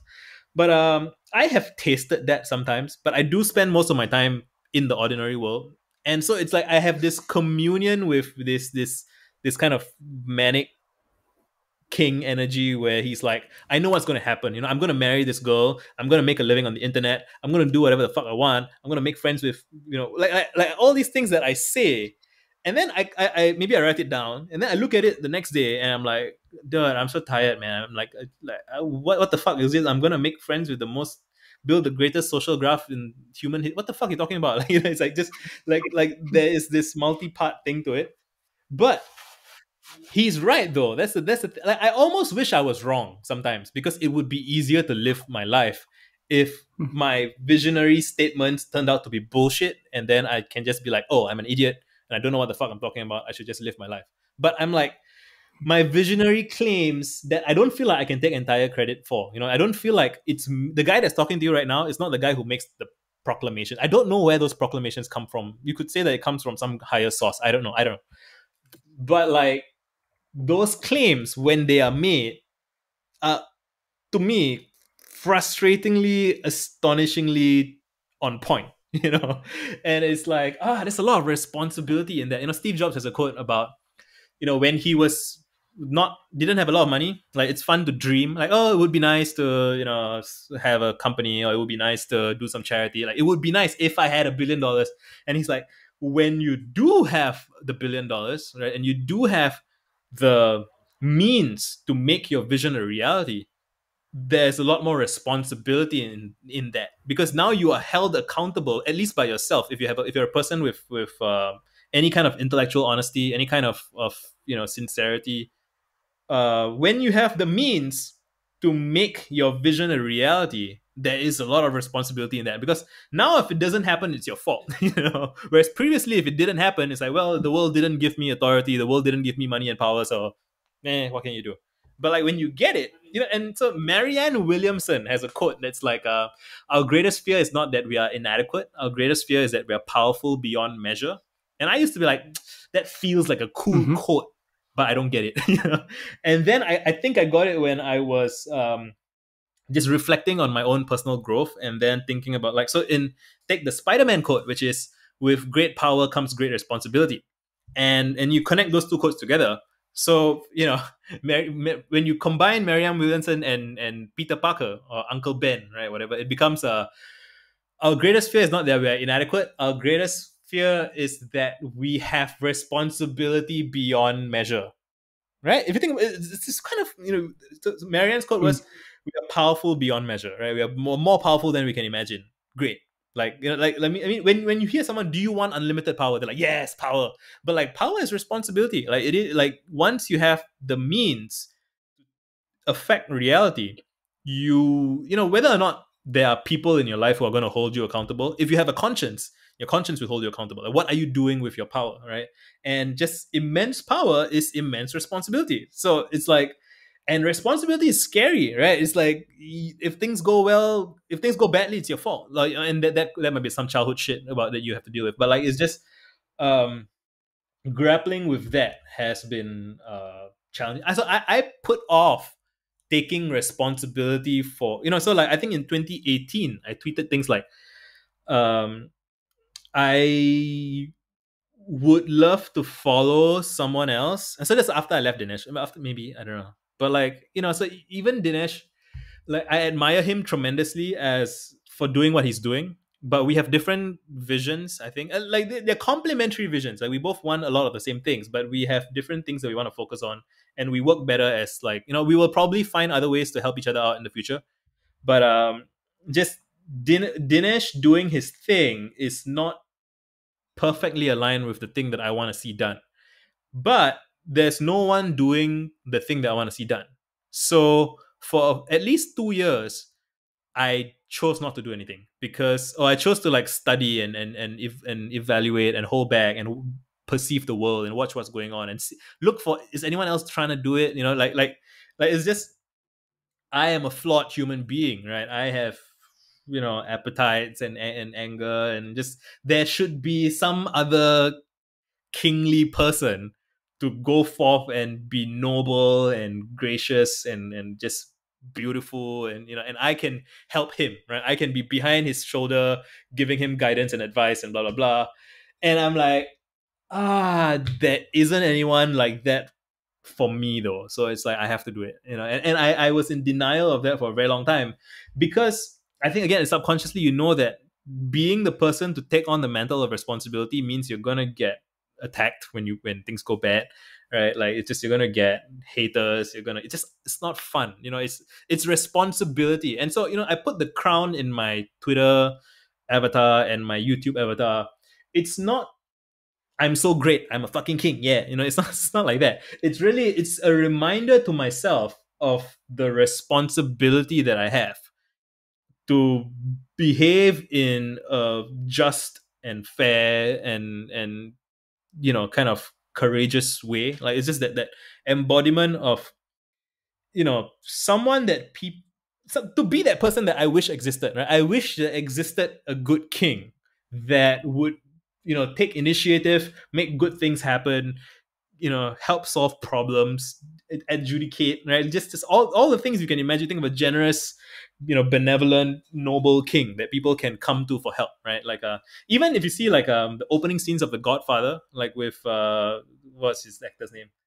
I remember his name. But it's like there's that sense right? The reason people love that movie is that there's this sense of here's an honorable man. Like, okay he's doing organized crime which is fucked up. But like here's an, a man with this with a code with a sense of honor who is trying to do the right thing within his th- it's like people are drawn to that we we admire and respect that like it's a you know, or the way we romanticize samurais or knights or whatever. Like we know that it's usually like PR and it's kind of you know the reality of it was messier, but yeah, you know, I just feel like um there is where where am I going with this? Where where do we start? I was just talking about uh my books, right? and yeah, I just feel like um these books they they they are well, you know, once once one really simplistic. So I was giving you like kind of these elaborate, complicated ways of talking about it. Just like, oh, a book is an experience and an invitation to the reader, and blah blah blah. Like, okay, like if we flip the whole thing around, if you look at famous public intellectuals throughout history, practically like all of them have books. Like you just, you know, it's just like it's it's a it's a necessary step if you want to be a great public intellectual you have to write a book. Like it's just it's it's a way for people to interface with your ideas and to consider you seriously. You can build like you can't you again like a, a problem for some twitter intellectuals or whatever is that they get overly fixated on a lot of activity on twitter and it feels noisy and it feels like there's a lot going on but it's still within twitter. It's still this bubble. And if you want to reach out beyond that bubble you have to have media that can travel. So YouTube is a huge part of that, and um, a book is a big part of that as well. And you know, it could be that you know Jane Jacobs wrote The Death and Life of Americans, Great American Cities, in when she was 45 years old. That was the first book she published. I'm sure it's not the first thing she wrote. Or you know, if she had been writing, if if if she had, she must have been writing for decades or, or whatever. It's a great book, and she and there's no way you know, she just woke up one day at 44 and wrote it in a year. Like it's just having worked on a book for a year, I know what work goes into writing a book. And it could be that everything I'm doing with my tweets and my books and all of that stuff, it's all just preparation for for what I don't know. Like it might be that when I'm 50 years old, there is an opportunity brought forward by geopolitics that we cannot anticipate, right? Like maybe nation states will be changing, maybe climate change shit will be happening, and like I don't know what's going to happen, but I know that somebody with a large audience with um, that has earned the goodwill and trust of a lot of people that is a good writer who can write a book. And if you write a good book then that addresses the concerns of people then uh, that's the thing I would like to do if the opportunity presents itself. So I'm, I'm, I'm always preparing, right, for for some future thing while also trying to have fun in the moment, right? And uh, mm-hmm, mm-hmm. yeah, I don't know if I don't know if that that uh, it's a very meandering path, but uh, that's that's where yeah, I'm no, at. that answers my question. Um, I think um, there's at least two questions I want to make sure that I get time to ask you. Um, the first one is kind of related to what you were talking about of responsibility in the sort of station that you found yourself in. Uh, is um, mm, something that I've reflected a lot on over the years with my Twitter presence in particular is the ethics of speech and mm-hmm. what to say and how to say it and when and why. And I'm really continually iterating on that. And I'd be curious to hear how you hold that the ethics of what you say uh, through your Twitter presence and other and other platforms that you have, like the ethics of speech, how you hold that. Right. Um, ethics. I so when I was younger, I used to think that you should just speak as honestly and forcefully and passionately as you can. And whatever happens happens. So be it. You know that i, felt like that was uh, that was my and i think that's a good position for youth to have you know when you're a teenager. Like just if you're angry be angry. You know if you're passionate be passionate. Like just get it all out. Like don't don't be an old man as a child. You know when you're a child be a child. Be be be forceful be be passionate and uh, i think and this is something that i learned from dinesh as well is just when you become an adult um, you start to have experience, you start to have knowledge, you start to see how things play out, and you start to understand that if I say A, B, or C, the outcomes will be one, two, three, four, five. And then if I skip A and B and I start with D and then I go to C, like it's it's consistently a much more favorable outcome. So, you know, like the ethics is almost downstream of of knowledge. You have to know what's going to happen. You have to have some idea of how things happen and um, when you have enough practice and you've done enough study um, you start to know that with some degree of not perfect confidence but some degree of confidence that people will respond to certain utterances a certain way right and um, i try my i I try to invite and encourage a constructive, nourishing space, right? So I try to, with my speech, try to invite people to to be I don't want to say positive. I don't know how how to ethics of speech. Uh uh I th- hmm ethics of speech. A simple a simple way to get at it would be do you have any rules for yourself about what you would or would not say or how you say things? well not it's not super explicit but like uh you know so I, I am pretty flexible and i enjoy the intellectual challenge of you know um if there's something that i think i should not say because it will ruffle some feathers or make people upset or whatever i then set about thinking well how can i say it? How can i say it in a way that people will receive um you know without interpreting it as an attack? And it's not that i'm afraid to attack people like i did i had my i did my fair share of attacking people when i was a political blogger i used to attack people in power. And i mean even even when, but you know it's like when you read that it's like i was you know i was attacking politicians for being out of touch. Like it's not like i was and i wasn't i wasn't vindictive. Like i would say if, if you read it you'll still see it's recognizably visa. You know it's not like holy shit i can't believe visa ever said things like that. It's, it's, it was still me. I was just kind of more you know like like these politicians are so out of touch that kind of thing. And um you know the thing that annoys me is speech that does not have does not help achieve the outcomes that i want.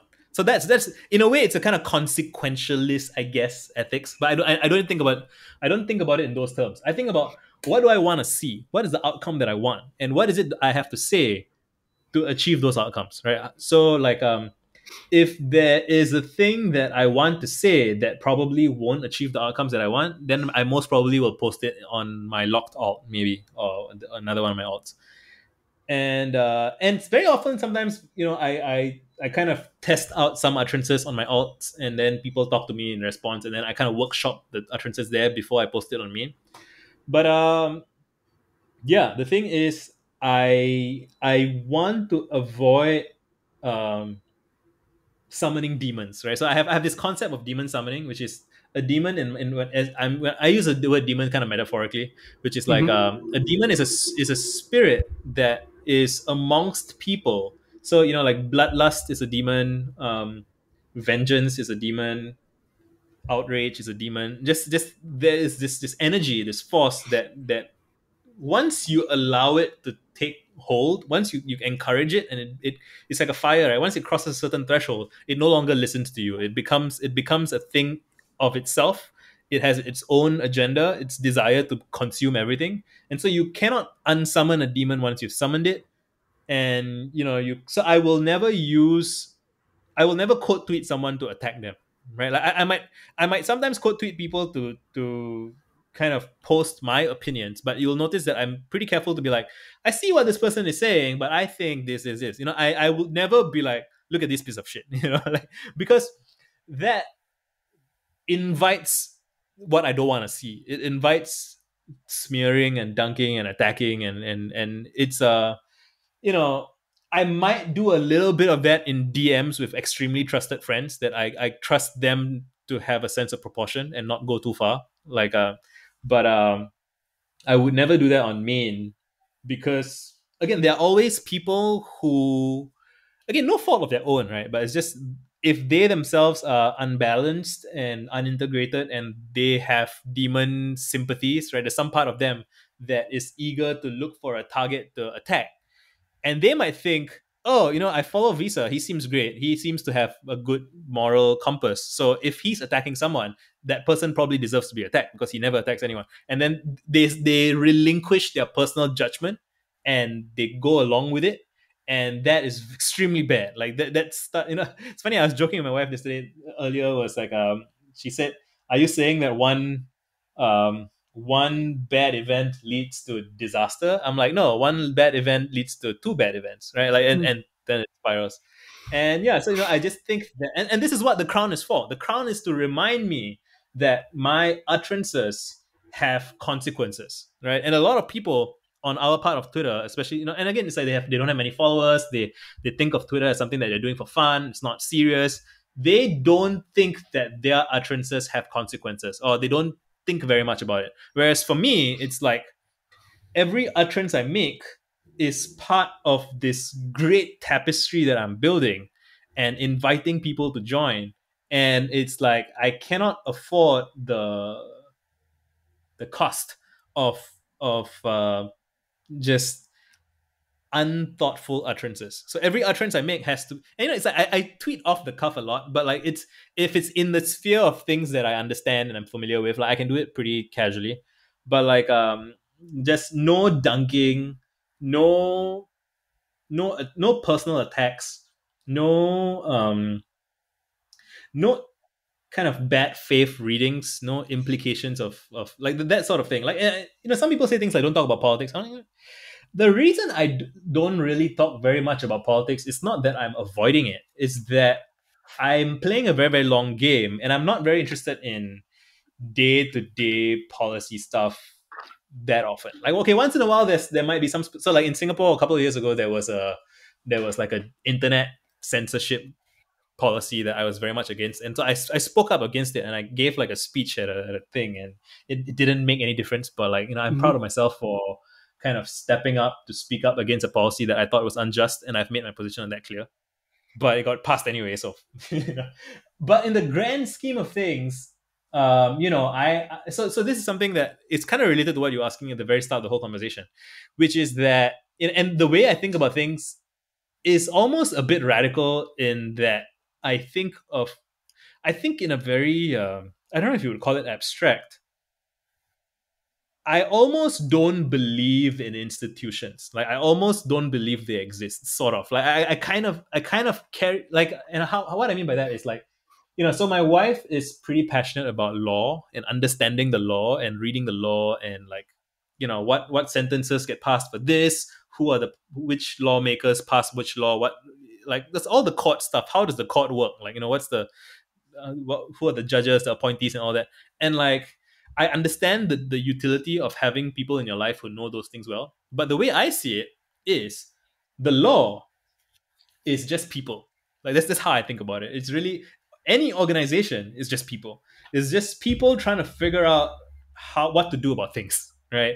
And laws change when again they'd be like, oh, you got to pass a, a, a, bill, and the bill has to pass the. I'm like, laws change when enough people want it to change. That's how I think about it. You know, it's like, it's, and and like to get enough. How do you get enough people to want to change a law? Oh, you have to get enough people to know about it, and you have to get enough like that kind of. That's how I think about it. It's really very. um it's almost childish. It's like it's like child childishly simple in concept, but adultly um intense in persistent implementation, right? So it's like, yeah, it's like, uh, well, one of the first, first principles thinking, I guess, right? Sort of. And um, yeah, so with regards to utterances, I just want to build a lot of relationships with a lot of good people and seek people that I respect and admire. And pretty much everyone I respect and admire um, would understand the value of being kind of um gracious in your uh, in your speech right so it's like it's like you speak like a king basically right like a like mm-hmm. don't don't don't send out whiny bitch complaint tweets right like it's, it's just it's not befitting I mean, like, I might joke around. I think it's it's fine to joke. Like having a sense of humor is great. It shows that you don't take yourself too seriously, right? Like don't like if you can have fun posting nonsense in a non-consequential way and people can see that you're human and you know like all those things yeah but like what, I'm thinking of I'm, I'm, thinking of the tweet where you uh, posted about uh, titties. You were just like titties earlier this year. I, I thought yes. that was great. You know, I was like, yes. you're just yeah. you're just saying it, man. Sometimes yeah. it has to be said. yeah. Right. Like uh, there's there's a duality to it. Do you see? Like so, like I can imagine an insufferable person who would never post titty because he Uh-huh. takes himself too seriously, right? He Yeah. he feels that what he tweets is is uh, is should is solemn, grave importance. Like ah, that's stuffy, man. Like, I don't wanna I don't wanna be a stuffy guy. You know, I don't wanna be someone that you know children are scared of or people avoid or have to manage. Like like I'm a guy. You know, I'm not I'm not not human. But when I am talking about anything substantial, uh, then so it's, it's all about context, right? It's Yes. like it's being sensitive to different contexts. Like, and you know, it's always funny to me when people suddenly sound like they don't understand context because people know that it's you probably shouldn't wear like a bright pink miniskirt to a funeral unless the the person was your unless you know that the person wanted it, right? Like th- th- there's there's there's there's like so that, that so the general context is you should probably wear muted um dull colors to a funeral. But there's an exception to that context where if the deceased wanted y'all to have a party at his funeral then yes let's have a funeral party and it's colorful and whatever and that's what they wanted. Like we understand that very well. We understand that um adults don't swear at children and children don't swear at adults. Like there's a demarcation there. We understand it. Like we don't like again you like you, we don't necessarily go into you can geek out about it and it's something about status right? Like um you don't swear at your uh like like service staff don't swear at customers um and like managers don't swear at service staff in certain contexts but they might swear like at a party or they might you know it's like there's there's this whole beautifully complex rich tapestry about when swearing is and is not appropriate you know and and we understand this like you don't really need to explain to people for the most part like most people understand the appropriateness of swearing right? And um there is a similar thing about just when to be how, how just how to how to make utterance so you you start with the premise of i am a powerful person with with, with whose utterances are consequential. You start with that. And then be like okay i can have fun though. You know there's, there's no reason i can't have fun. But i'm never gonna pretend that what I say doesn't have consequences because that's that's the road to hell basically. When I start to pretend like oh I can insult this person, it's not a big deal. You know, it's it's I'm just having a bad day or whatever. Like I, I hold myself to higher standards on that front. Um, yeah, That's a great answer. Thank you. Um, yeah, I want to come back to uh, just as a, to close out the conversation. Um, it's a little bit vulnerable to me ask, but I think it I think it bears mentioning given your the work and what you're trying to do. It's um, you know you you sort of casually said in the beginning of the conversation like oh yeah we're friends and you you referred to me as a friend and like parts of me are like yeah definitely we're friends and parts of me are like hmm what do you what do you mean by friend and how do you hold that Mhm. and what exactly is a friend to you and Mhm. um 'cause I, I think there's a spectrum there of what a friend is and what that means and i'm just curious how you hold that and what that word means to you and uh, both in general and you know i guess practically and specific in our connection but just in general what what friendship means to you Right. So um my my kind of um shortest answer for what a friend is is a person that you have a shared understanding with.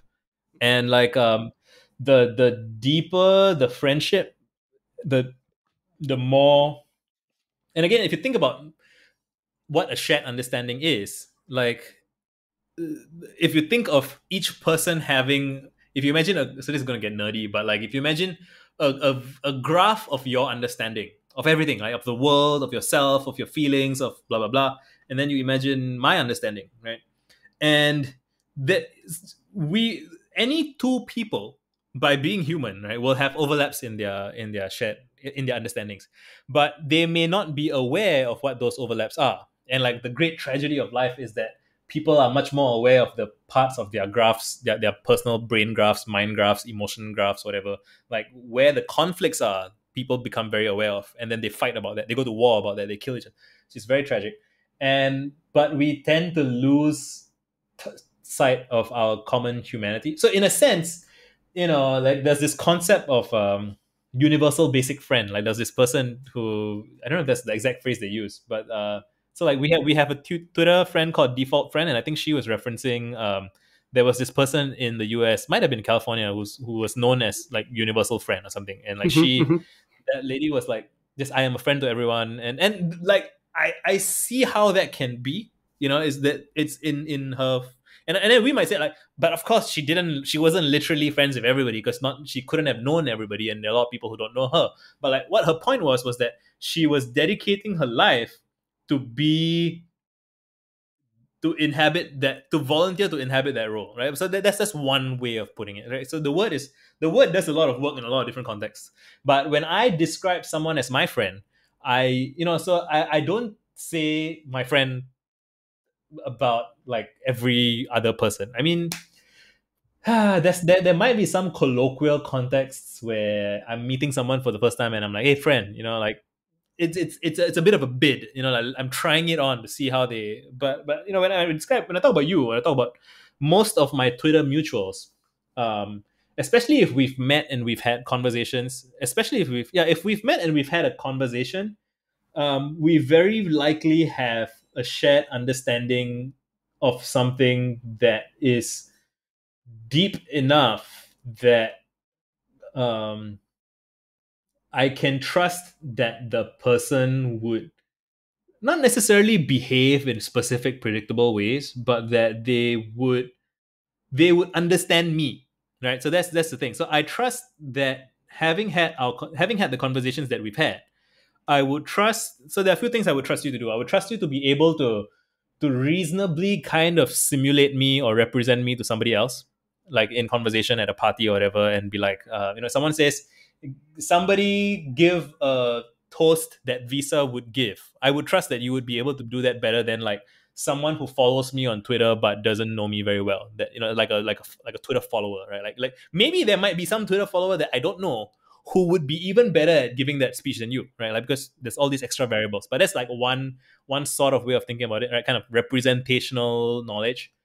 Um, I would trust that if I behaved in a certain way that um, the average random person doesn't understand, but it's consistent with my behavior because it's me, right?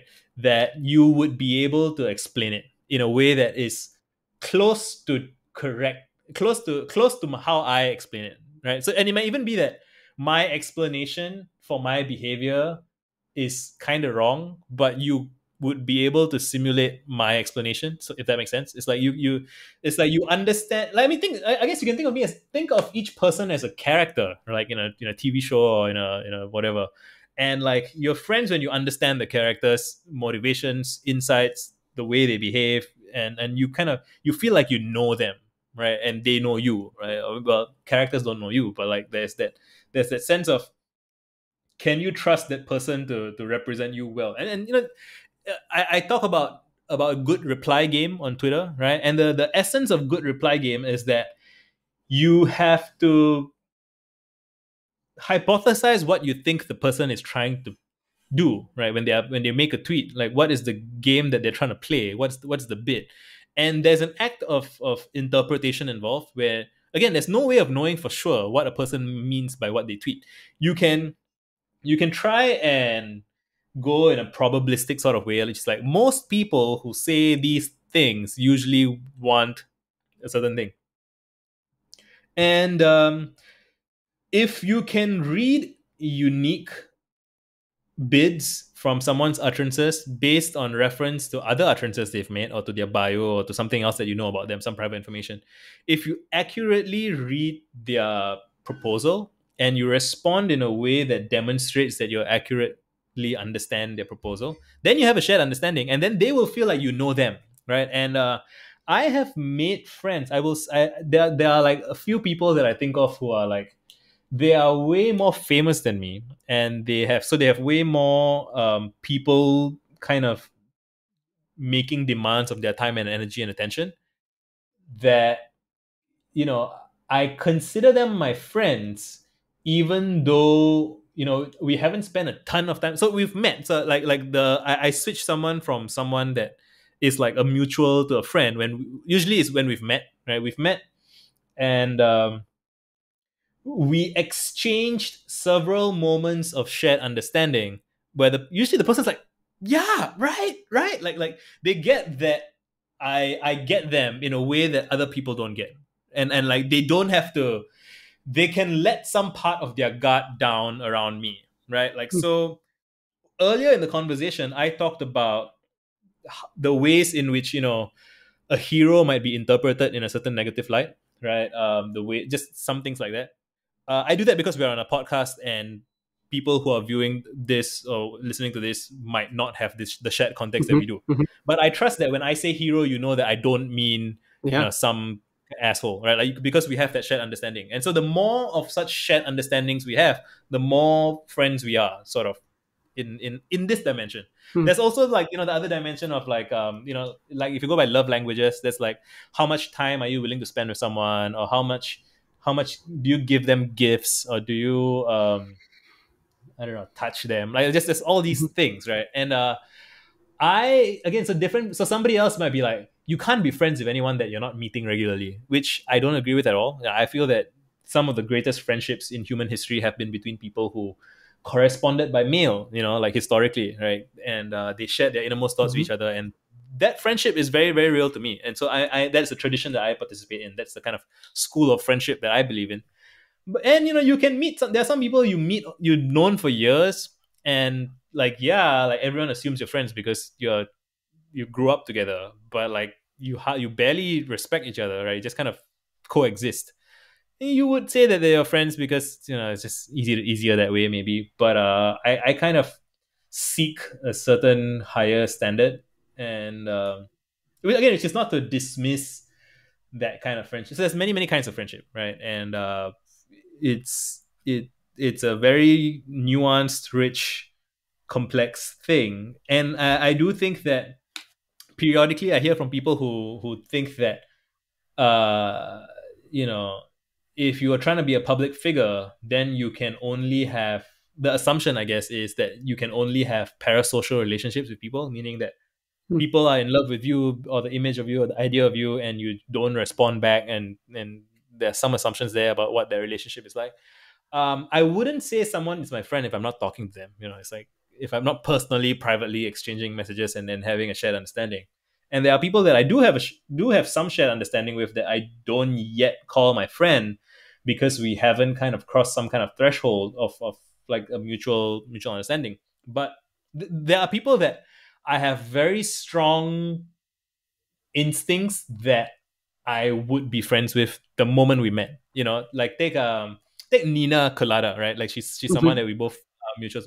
Like we haven't met. We haven't we haven't had a had a like a video call. We haven't had a much exchange DMs or whatever. But I just get a sense. I get a sense that if we met, like within 10 minutes we would be talking like we've known each other for years. Like I, I and I have a thread where I do this with every time I meet a Twitter mutual, I I post in that thread.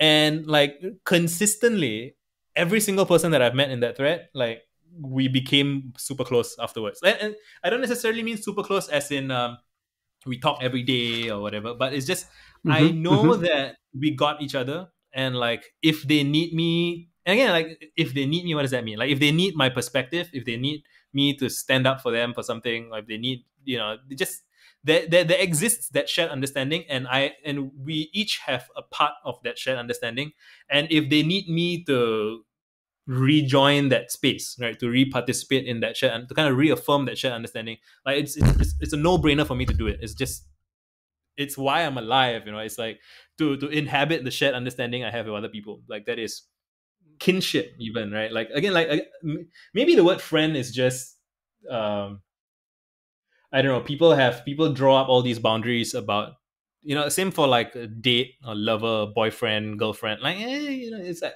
it's like what I was talking about earlier about laws and and and justice and whatnot. Like people get fixated on oh, is this passed? Has this passed the bill or whatever?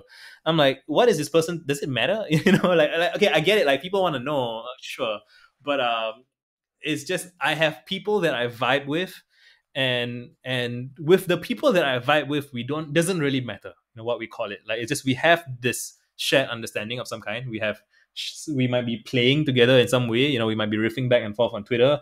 We might be doing other things maybe, but like um, the the the label does not really matter to me. Like what what matters to me is the the, the ongoing, continuous exchange, participation, dance, right? And sometimes it ebbs and flows. Sometimes it, some of my favorite people are people that I speak to like once a year or less, even right? Like uh, and yeah.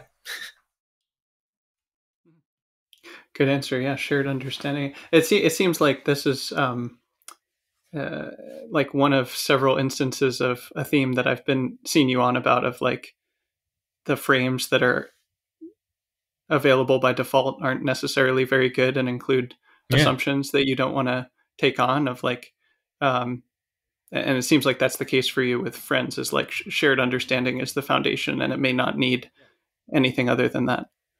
Yeah yeah very very much so. I i suspect this is gonna be i'm gonna get much more intense about this in the coming i mean i'm gonna finish my current Good. book but like you know everything happiness incels adhd body positivity like almost it's almost like to be super radical about it if you have a description for a problem and that problem has not been going away over time that problem has not been progress has not been made in solving the problem the war on drugs whatever if that problem is persisting mm-hmm, despite mm-hmm. having a description for the problem there is a good chance i believe that the descriptor of the problem is playing a role whether intentionally or not in perpetuating the problem because it's likely that you know you might be conflating symptoms with causes right like um yeah, you know, I wouldn't be surprised if like uh, loneliness, um, just everything is wrong. You know, it's just the, the way people talk about things is wrong. And you, if if there's a problem and you're trying to describe it and you haven't been able to solve it, it's chances are you're, you're focusing on the wrong thing, right? So I'll, I'll talk about like incels, right? The, the the it's crazy that the phrase incel has become the word. It's become so ubiquitous. So like the idea of incel is involuntary celibate, right? So I I I'm not having sex and I don't have a choice in it. I didn't. It's it's not my fault. I mean, I'm I'm, I'm not choosing to not have sex. I just can't. Like nobody wants to have sex with me. I mean, involuntary celibate. And then so I'm an incel, and that's what they how they choose to define themselves. They make it an identity. And shockingly to me, the rest of the world has accepted that label as as the descriptor of this this political entity. And then you're like, oh yeah, he's such an incel, and it's like do you see what's happening? It's like it's encoded in the phrase that the problem is the lack of sex, but that's like downstream. The problem is a lack of a, the inability to relate to other people intimately. Right? Like sex is is is is not. I mean, like it's like um, you know, uh, there's this great blog post by this, and it's something like, uh, we when a couple fights about the dishes, like a married couple is fighting about the dishes, it's never about the dishes. Nobody gives a fuck about dishes, right? They're fighting about the dishes because somebody feels like a boundary has been violated. Somebody feels disrespected. Somebody feels that their partner promised them they were going to do something and they can't trust their partner, right? That's the problem. The problem isn't the dishes. The problem is I can't trust you. Or the problem is I feel like you don't respect me. Like those are the real problems. And it's like when we use so it's like what I'm saying is like it's like imagine if people think that a couple fighting about the dishes should be described in terms of those dishes. You know what I mean? It's like the dishes are not the problem. The dishes are just the domain in which this the, the battlefield in which this war is being fought. But that it's, it's not the battlefield's fault. You know, it's not the battlefield's responsibility. And if you fixate on the battlefield instead of the warring parties and their their needs, their their hopes, their confusions, their anxieties, their their beliefs, like then you're never gonna make progress. It's it's almost designed to keep you there. And yeah, you know, so such is the case with uh so many like when you start looking for it and i'm gonna i'm i, I might get to doing more of this in the coming i gotta share my book first but like yeah when you start looking at it you know again like adhd what does it mean when you like pe- people people use it as a phrase and eventually it kind of becomes a word, but like become becomes just kind of a, like you know BFGF. You don't really think about what it means. Like it's just it's just a, a signifier. But if you dig into it, it's like attention deficit um, hyperactivity disorder. It's like like what you don't have enough attention. Like you know, it's it's not when you really dig into it, it it it doesn't it doesn't describe the problem correctly. And like one of the things I learned from Dinesh, like and is in general, is like if you want to solve a problem, you have to describe it correctly. Like you have to know what the problem actually is. The problem was never the dishes. You know, the problem was never the lack of sex. The problem was ne- like yeah, it might. it might help if you did the bloody dishes, right? But there's a reason you're not doing the dishes, and and so it's it's uh, all these things upstream. The upstream is the real problem, and and so it's it's crazy, right? It's like again, like I feel like people have a loneliness and belonging problem, and I feel like I solved it for myself. And it's just so wild how everything's connected because then it's like it seems to me like it might be possible that a large amount of suffering in the world is downstream of people just using the wrong words. That's it's insane if that's true. It's like it's all I almost feel I feel like I feel like I have to whisper because it's like it's it seems so outrageous. if like oh guys guess what? We've been using the wrong words. That's, that's that's why we have disagreements it's like you know it's that and then i mean if you dig into it it's like people don't want like large swaths of the populations are committed to fighting because they don't want to understand each other because they want to express their anger and blah blah blah. But like you know if we start with trying to help the people who want to be helped right? The people who the people who used to describe themselves as incels but no longer feel that way or feel conflicted about their identity and they want to explore it and then you'd be like hey why don't we try using different words right? Why don't we try focusing on you know like so one of the questions i get a lot is how do i not be a failure? And i'm like stop using that word you know stop defining mm-hmm, yourself mm-hmm. in terms of i am a failure how do i be less of a failure? It doesn't it's because even if you reduce your failure rate by 90% you're still thinking of yourself as a failure. Like the problem is still there. You have to instead think of your think how can i succeed at something? What will a success look like to me? Can you a person say i don't trust myself. I'm like okay can you pour yourself a glass of water and can you drink it? Like can you trust yourself to pour yourself a glass of water right now and drink it? And they'll be like yeah. I'm like do that. Do that right now while you're talking to me on the phone or whatever. Go and get a glass of water. I'll wait here for you. Go and get a glass go and get a glass of water. Drink it. Then they're like okay and, and say say before you go i trust myself to pour myself a glass of water. I trust myself to keep myself hydrated right? Like right now like and they do it and then you're like you just you just trusted yourself and you did something. You did something you said you were going to do and you did it. You are now a person who at least for this one act are trustworthy right? You have succeeded at this one thing.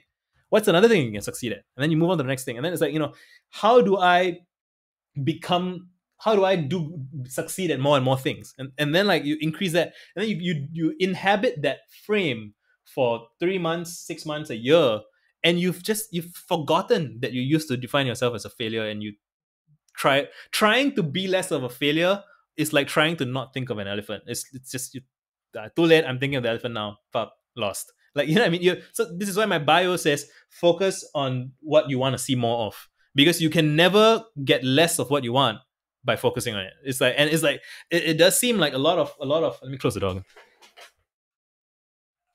It does seem like again, I don't want to be I don't want to project um assumptions about other people's motives, but if you look at the incentives, it does seem like a lot of the media apparatus is incentivized to perpetuate problems because problems just encourage more conversation, more yelling, more arguments, more fighting.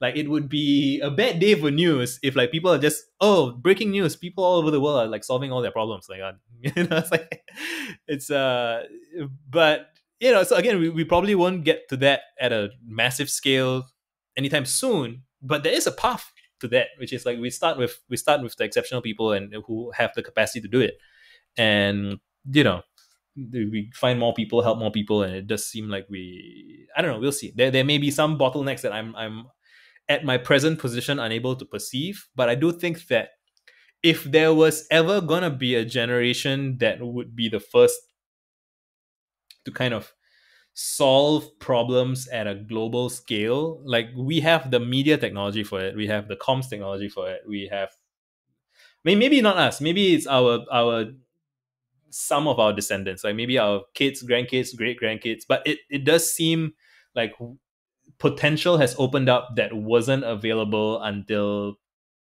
until smartphones. I would say I got to write that essay. There's there's a there's something about smartphones that again a lot of people are terrified of this this this how it, it can destroy us.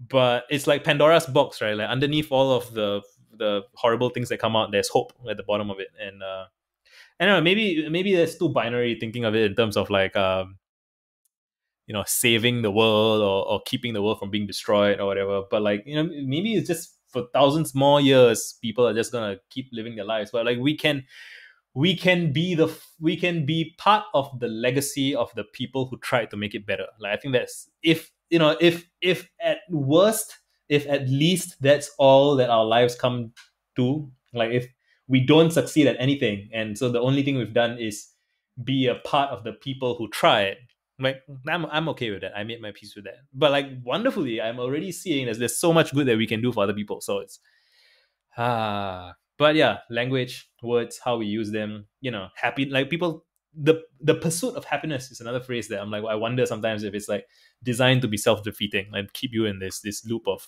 always chasing a thing that you cannot get but maybe it's just when they first said it they meant something different and then you know meanings evolve. And so because meanings evolve we need people who function as like shaman in a sense to kind of recreate and rediscover things from first like from basics like really think through everything use different words re-explore rediscover the the, the sacred quality of things.